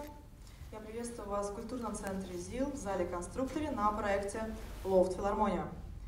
Лофт Филармония занимается камерной инструментальной музыкой в нестандартных условиях лофта с видеоинсталляцией и модерацией от участников.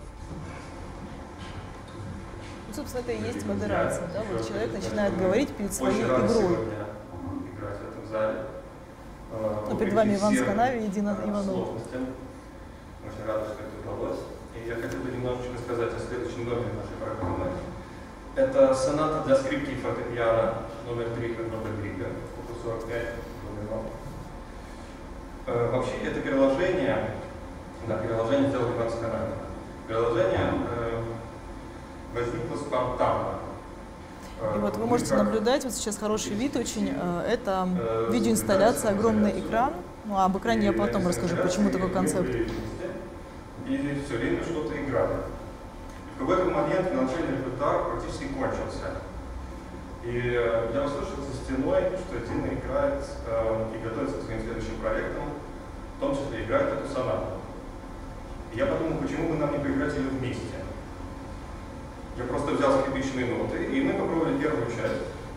И нам показалось, что это достаточно интересно. И так постепенно родилось это переложение.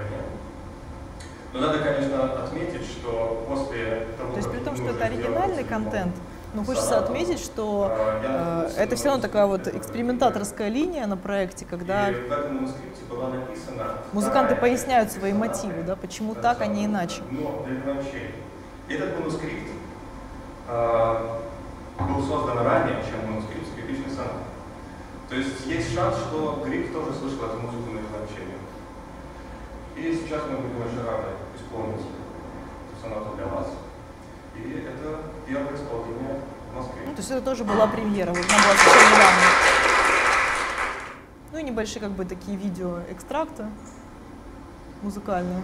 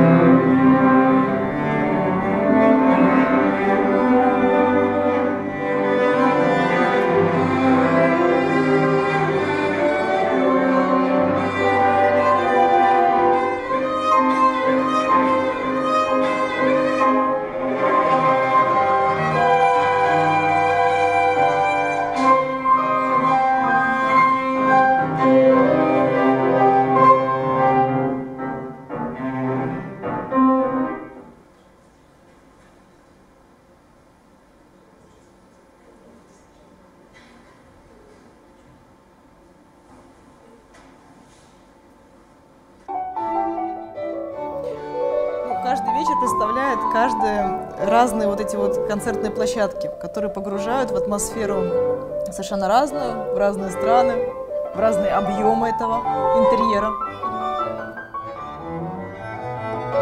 И вот в такой атмосфере каждому становится эта академическая музыка, камерная музыка понятнее и доходчивее.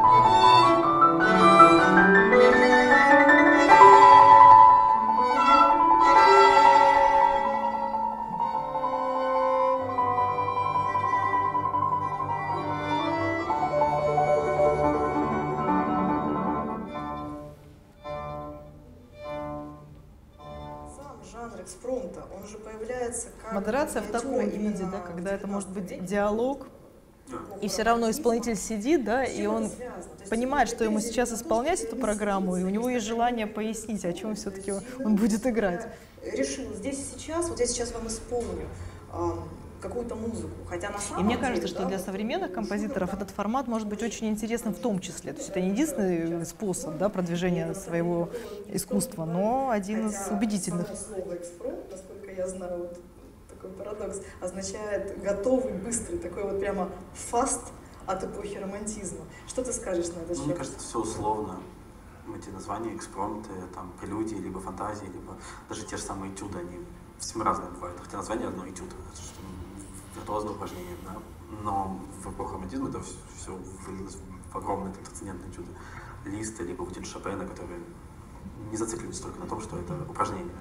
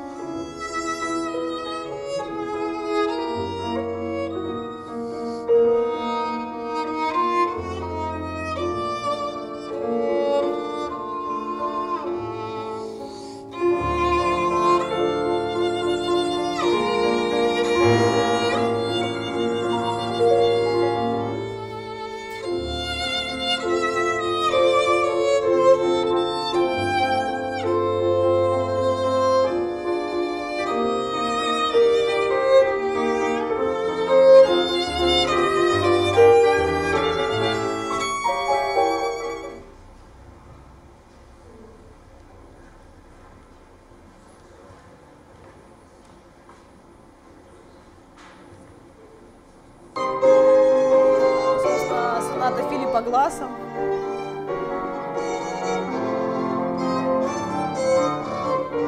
Поскольку часть серии была проведена в онлайне, то это и есть продакшн, который мы снимали.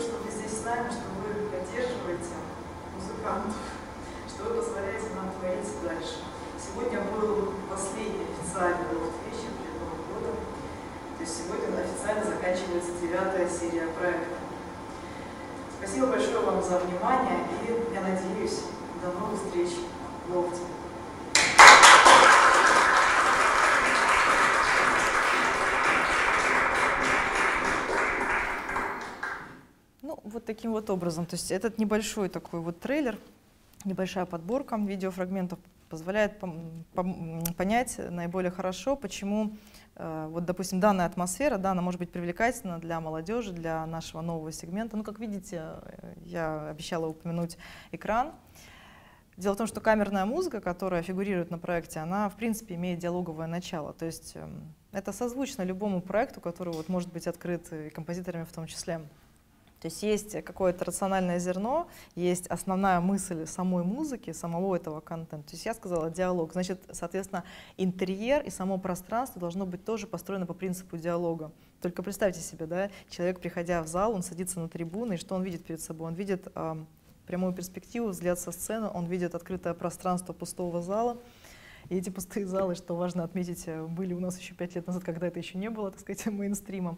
Ну, то есть просто угадала, просто так получилось. И э, таким образом тоже создается это ощущение диалога, и, собственно, переполненный зал смотрит в пустой. На сцене происходит диалог между музыкантами, и музыкально этот диалог летит в зал. Мне кажется, что очень э, ну, хороший, по крайней мере, вариант для того, чтобы привлечь внимание и при этом не, по, не понизить высокую художественную планку того контента, который мы предлагаем, то есть, а именно академической музыки. Э, что касается вообще стратегии ну, продвижения современной музыки, современных композиторов, я думаю, что тоже э, ведь тема которая фигурирует в творчестве какого-либо композитора, она может быть тоже разная. И если, допустим, идти от пространства, я слышу эту музыку, я ее написал, и я хочу, чтобы она была исполнена, и здесь вот у вас зажигаются такие вот опции в голове. Это может быть пространство, которое созвучно этой музыке, это может быть какое-то противоположное абсолютно пространство и атмосфера. Кроме того, есть еще одно интересное решение, которое мне кажется очень привлекательным и перспективным. А, есть ряд инструментов, которые появились ну, относительно недавно. Это ну, совершенно фантастические инструменты. Там тот же термин «вокс», да, как мало произведений для него написано. и какое-то волшебное звучание. Или там произведение, которое написано для инструментов а-ля пила там, и так далее. Да? То есть если человек находит э, свой инструмент, то, возможно, таким образом он тоже может привлечь к себе внимание, и это очень хорошая тоже пища для ума.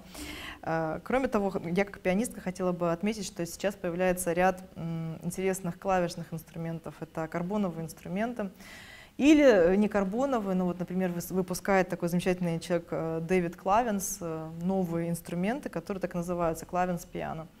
А, эти инструменты немножко по-другому звучат, э, чем рояль.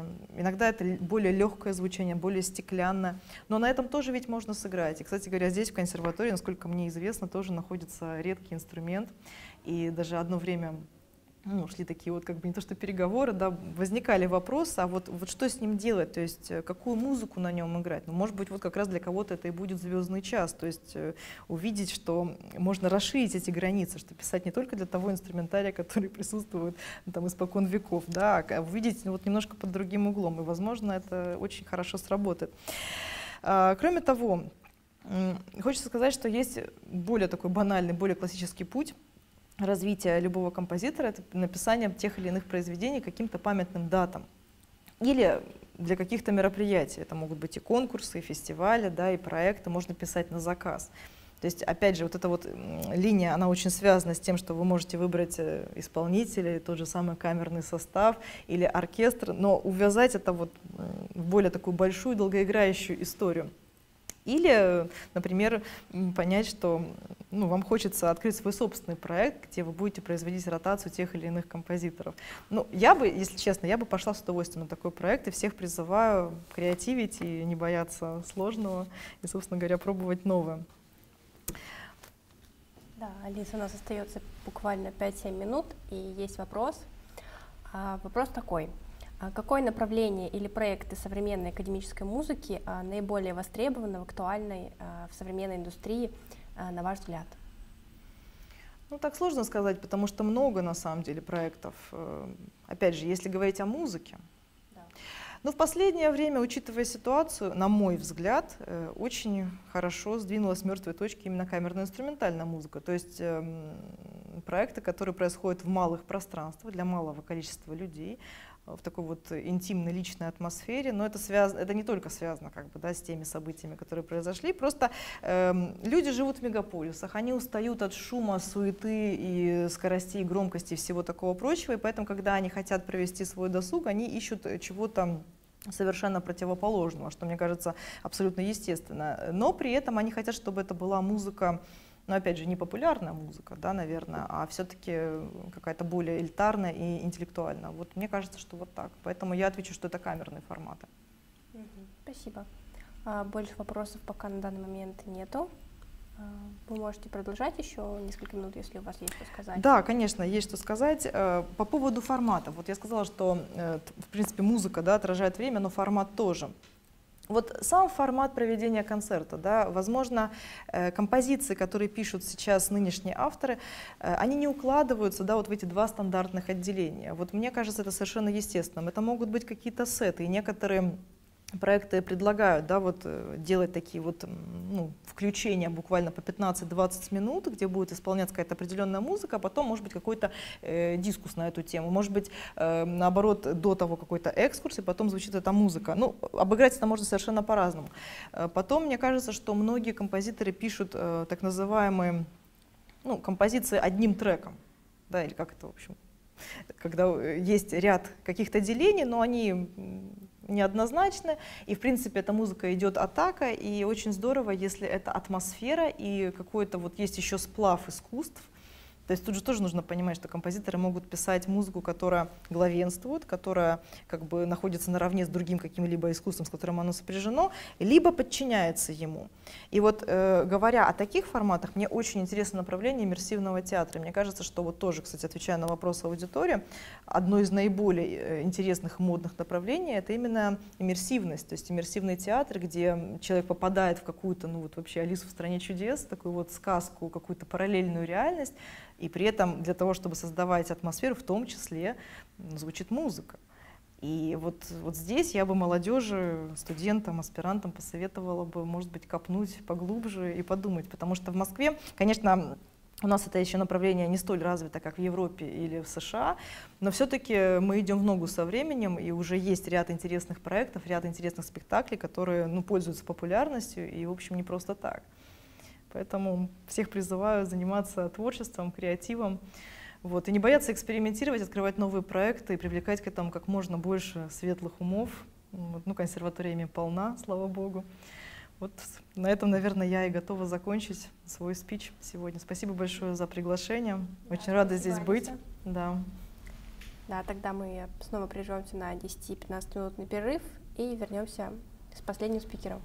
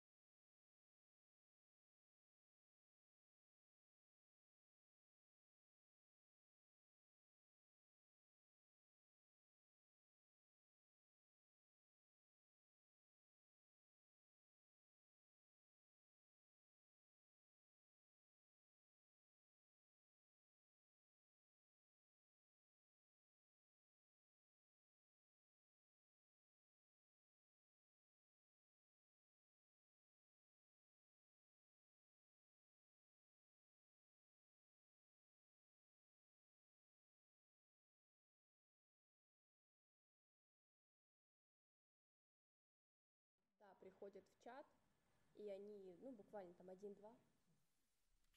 А, да, здравствуйте снова, мы в эфире, у нас последний спикер Тих, Тихон Хренников. А, здравствуйте, Тихон. Здравствуйте. Добрый день. А, все, вы можете начинать. А есть какие, как, какой-то вводную, расскажите, э, вопрос, про какую тему, или мне как, как лекцию читать? Я просто как лекцию не готовил. А, да, вам а, обозначали тему, а, ваша тема да, звучала как... А, сейчас, секундочку, я напомню. Музыка о любимом городе. Была, да, да. да. Музыку про любимый город. Да, и как свободный спич у вас а есть... Я просто думала, что, я просто думала, что это будет больше как э, в э, как вопрос-ответ, ну, как разговор. Скажите, а если, если как такой... Про какую тему или мне как, лекцию читать? Я просто не готовил. Ну, вообще про, про любимый город и вообще про Москву. Ну, если в частности мы говорим про Москву, чаще, конечно, писали музыку песенного жанра. Хотя выразить выразить любовь э, к своему городу не обязательно э, можно через песенный жанр. Например, вот э, если взять из моего творчества, я несколько лет назад, и вот в прошлом году написал свою первую симфонию, посвященную 75-летию э, победы в Великой Отечественной войне. И у меня там э, пять частей, но они идут по годам. И как раз там, вот, например, первая часть у меня называлась «Битва за Москву». Да. С, э, еще одна часть у меня, естественно, была а, про Сталинград. Да. А, также у меня было про Ленинград, про а, Прохоровскую битву, Танковское сражение. Да. И здесь, в принципе, это тоже а, любовь к городу, это любовь к своей родине. Это некая, некая патриотическая, скажем так, тема, вот, и, конечно, 75 э, лет э, победе в Великой Отечественной войне это был большой повод а, на самом деле а, для создания новых, новых э, симфонических, не только симфонической, кстати, музыки, направленных вот, ну, грубо говоря, патриотической музыки. Но я вот выбрал именно симфонический жанр, и, естественно, а, где-то в каждой части а, симфонии я пытался а, выразить нечто характерное для каждого города. Ну вот могу рассказать, например, про Сталинград. Я там зашиф, зашифровал в самой музыкальной ткани название Сталинграда. То есть каждую, каждую букву названия города очень хорошо ложилось под ноты. Первое, ну, как бы S – это ми бемоль, Т – это ут, древнее, ну, старое название ноты до, А – это ля, Л – это тоже ля, ну и так далее. И получилась э, некая э, последовательность из нот, и э, я ее использовал не только по горизонтали, но также и по вертикали, то есть не только как мелодию, но ее, э, из, из нее составлял и гармонический план, и саму, кстати, гармонию, и гармонический план э, вообще э, всей, всей части. Вот. Ну, это если говорить, например, про симфоническую музыку из моего творчества. А также, э, конечно, любовь к городу, э, к Москве. Вот если посмотреть, вот вспомнить, сколько было написано песен о Москве, ну, я думаю, что их, наверное, более ста э, точно можно будет вспомнить. И, конечно, в советское время, в советском кино много, много очень написано песен для советских фильмов.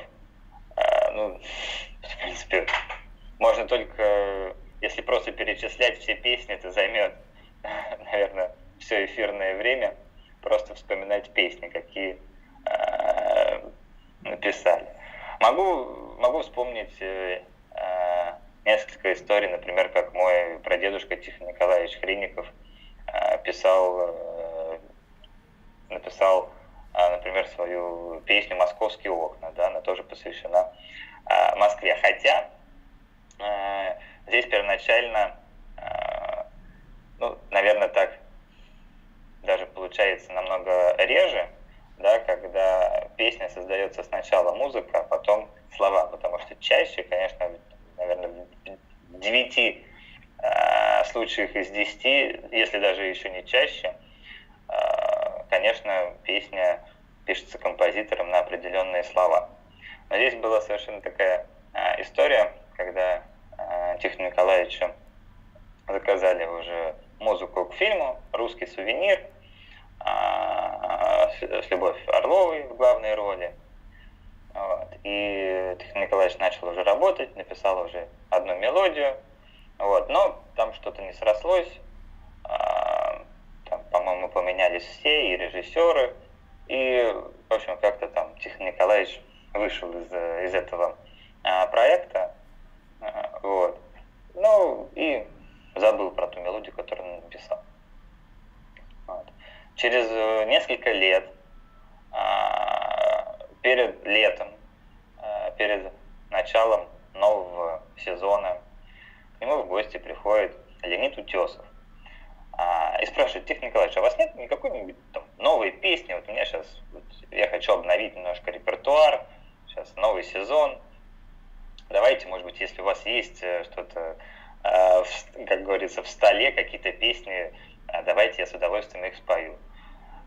Но так как Тихо Николаевич был 43 года еще возглавлял Союз композиторов России, конечно, музыку он писал только по заказу. К сожалению, конечно, у него эта вся общественная деятельность очень много времени отнимала от творчества. И, говоря, просто так писать стол у него совершенно не было времени, потому что у него, в принципе, было, было много заказов.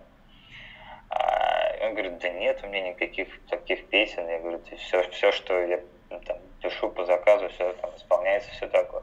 А потом вдруг, и вдруг говорит, вспоминает, а, кстати, нет, вот есть одна мелодия, я написал, значит, какому-то фильму, а, он говорит, ну сыграйте. Ну, дедушка сыграл на рояле а, эту мелодию «Московских окон».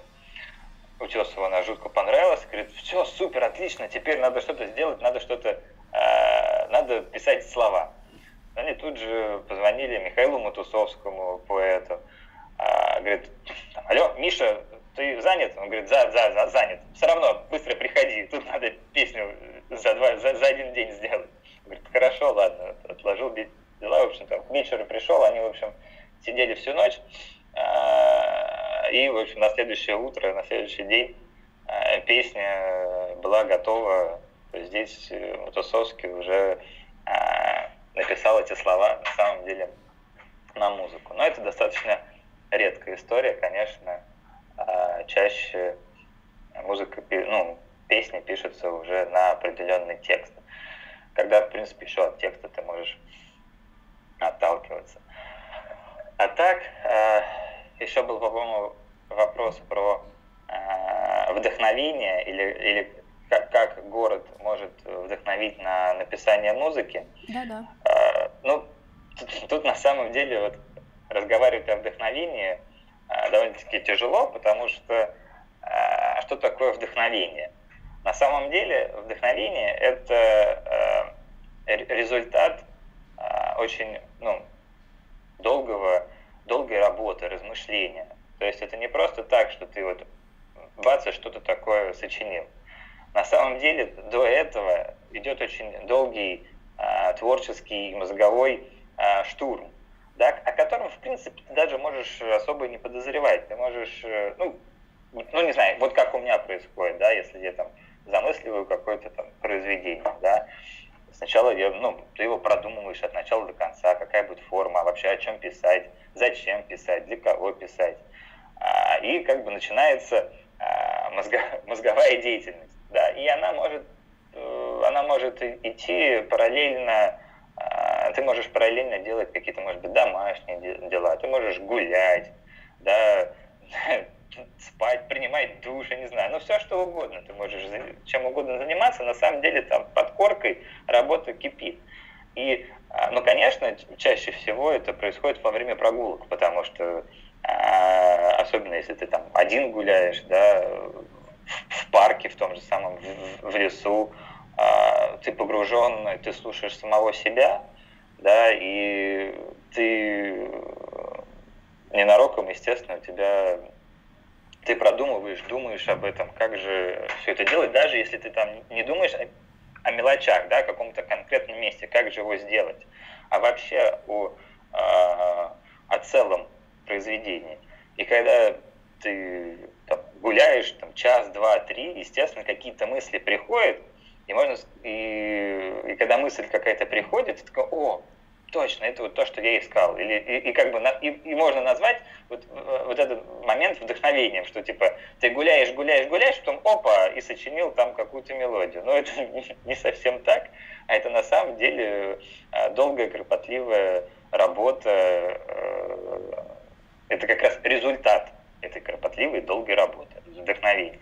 Но, конечно, э, в городе, в каждом городе есть прекрасные места, которые Э, грубо говоря, сподвигают тебя на погружение э, в самого себя, да, как бы музыка все равно пишется э, от сердца, ну, чаще всего. И, конечно, чтобы писать свою музыку, ты должен познать себя.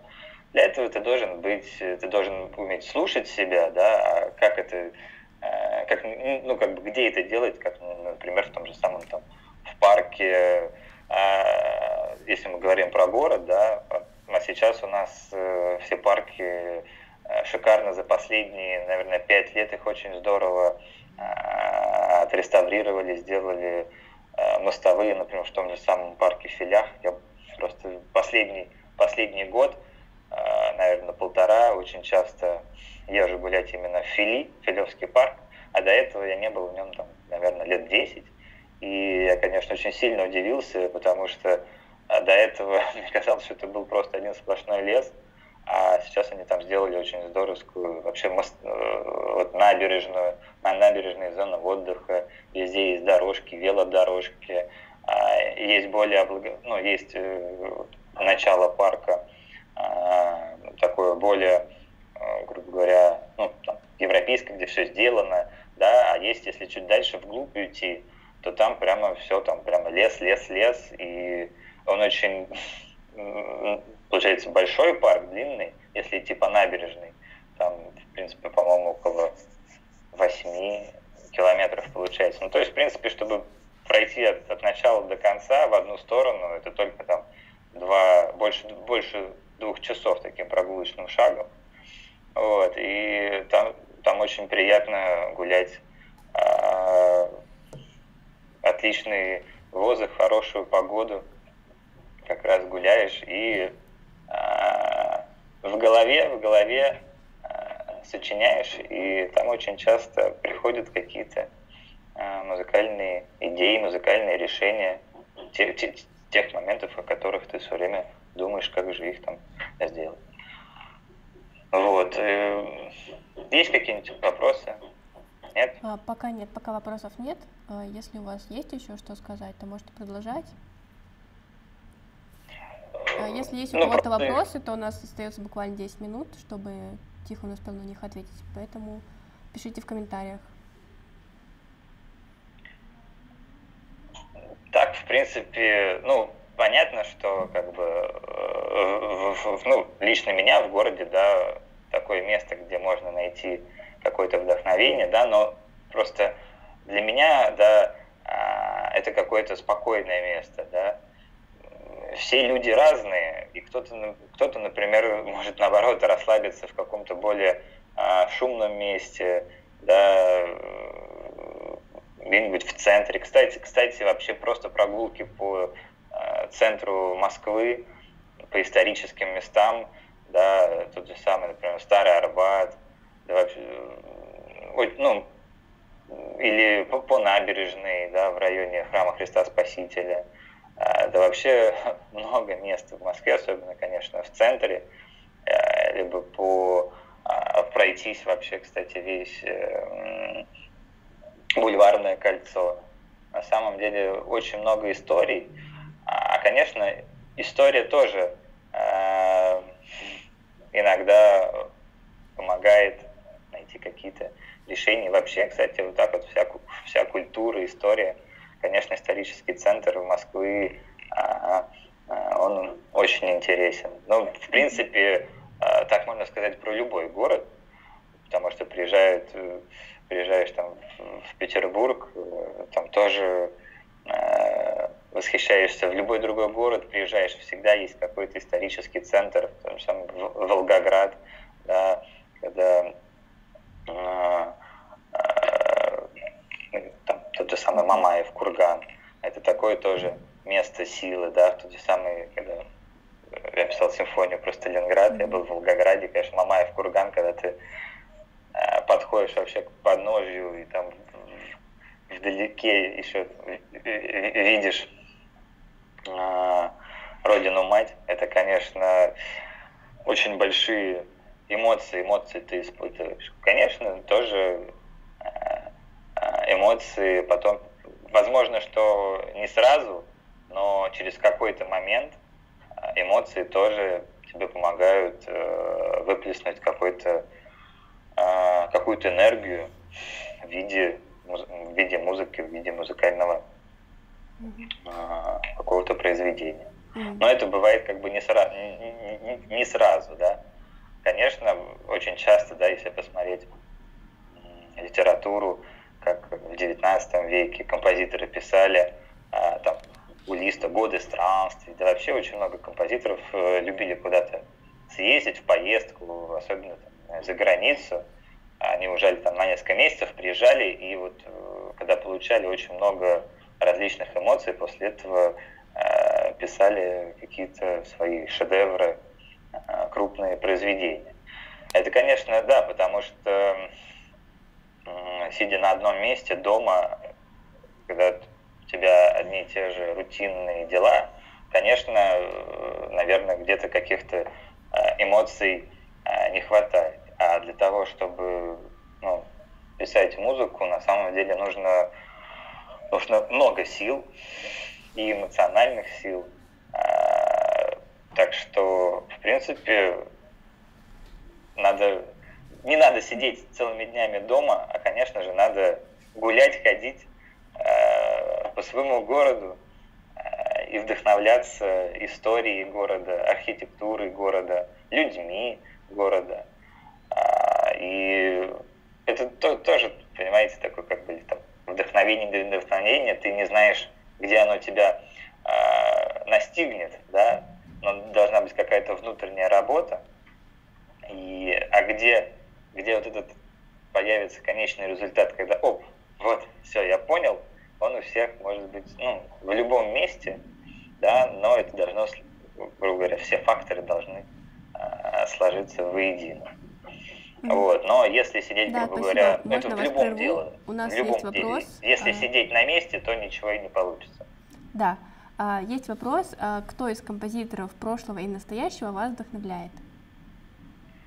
А, меня вдохновляет э, талантливая, красивая музыка, которая действительно ну, цепляет и которая ну, чаще вырабатывает в тебе какие-то положительные эмоции. Хотя настроения бывают разные, эмоции тоже бывают разные.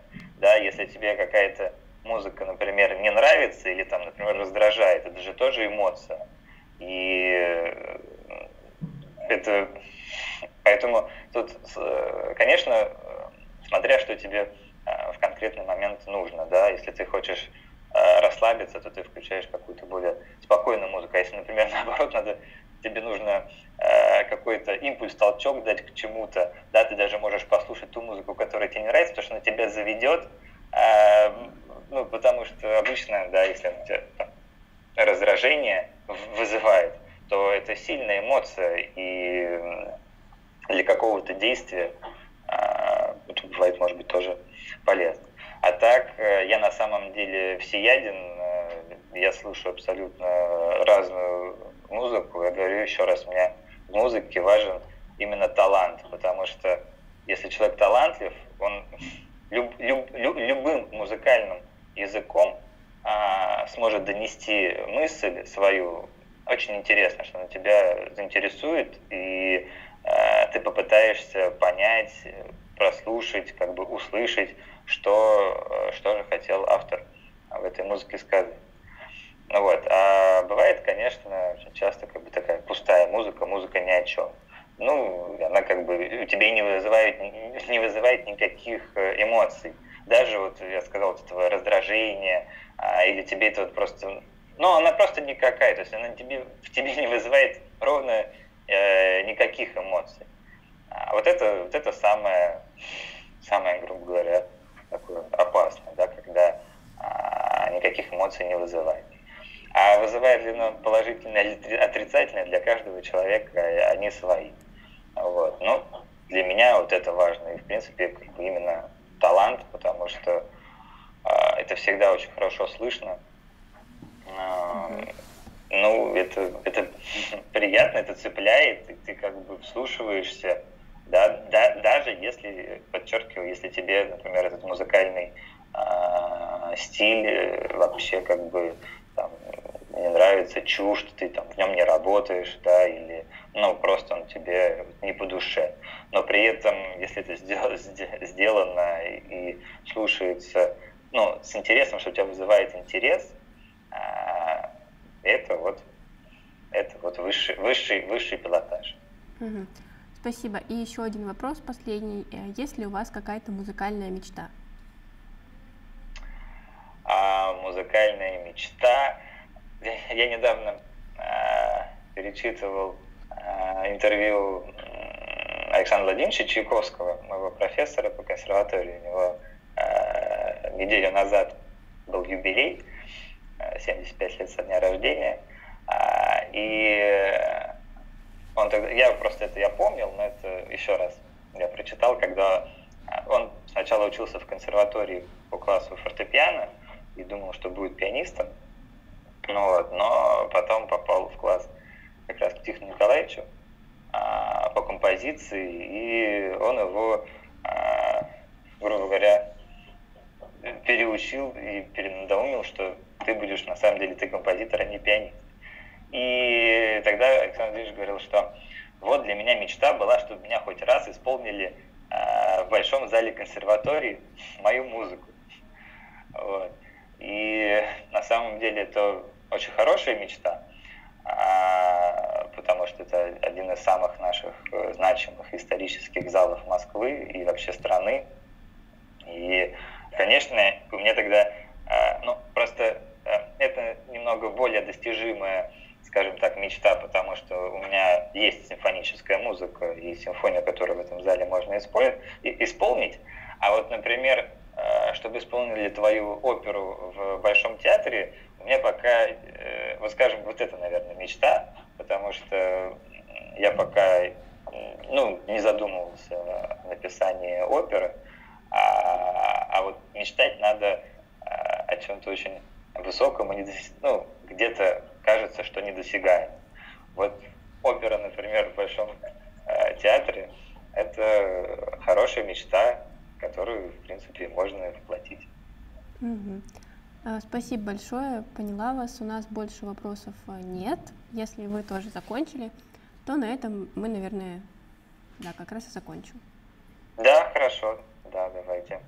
Спасибо большое. Да, наши слушатели благодарят вас за выступление и за ответ на вопросы. Очень интересно было послушать.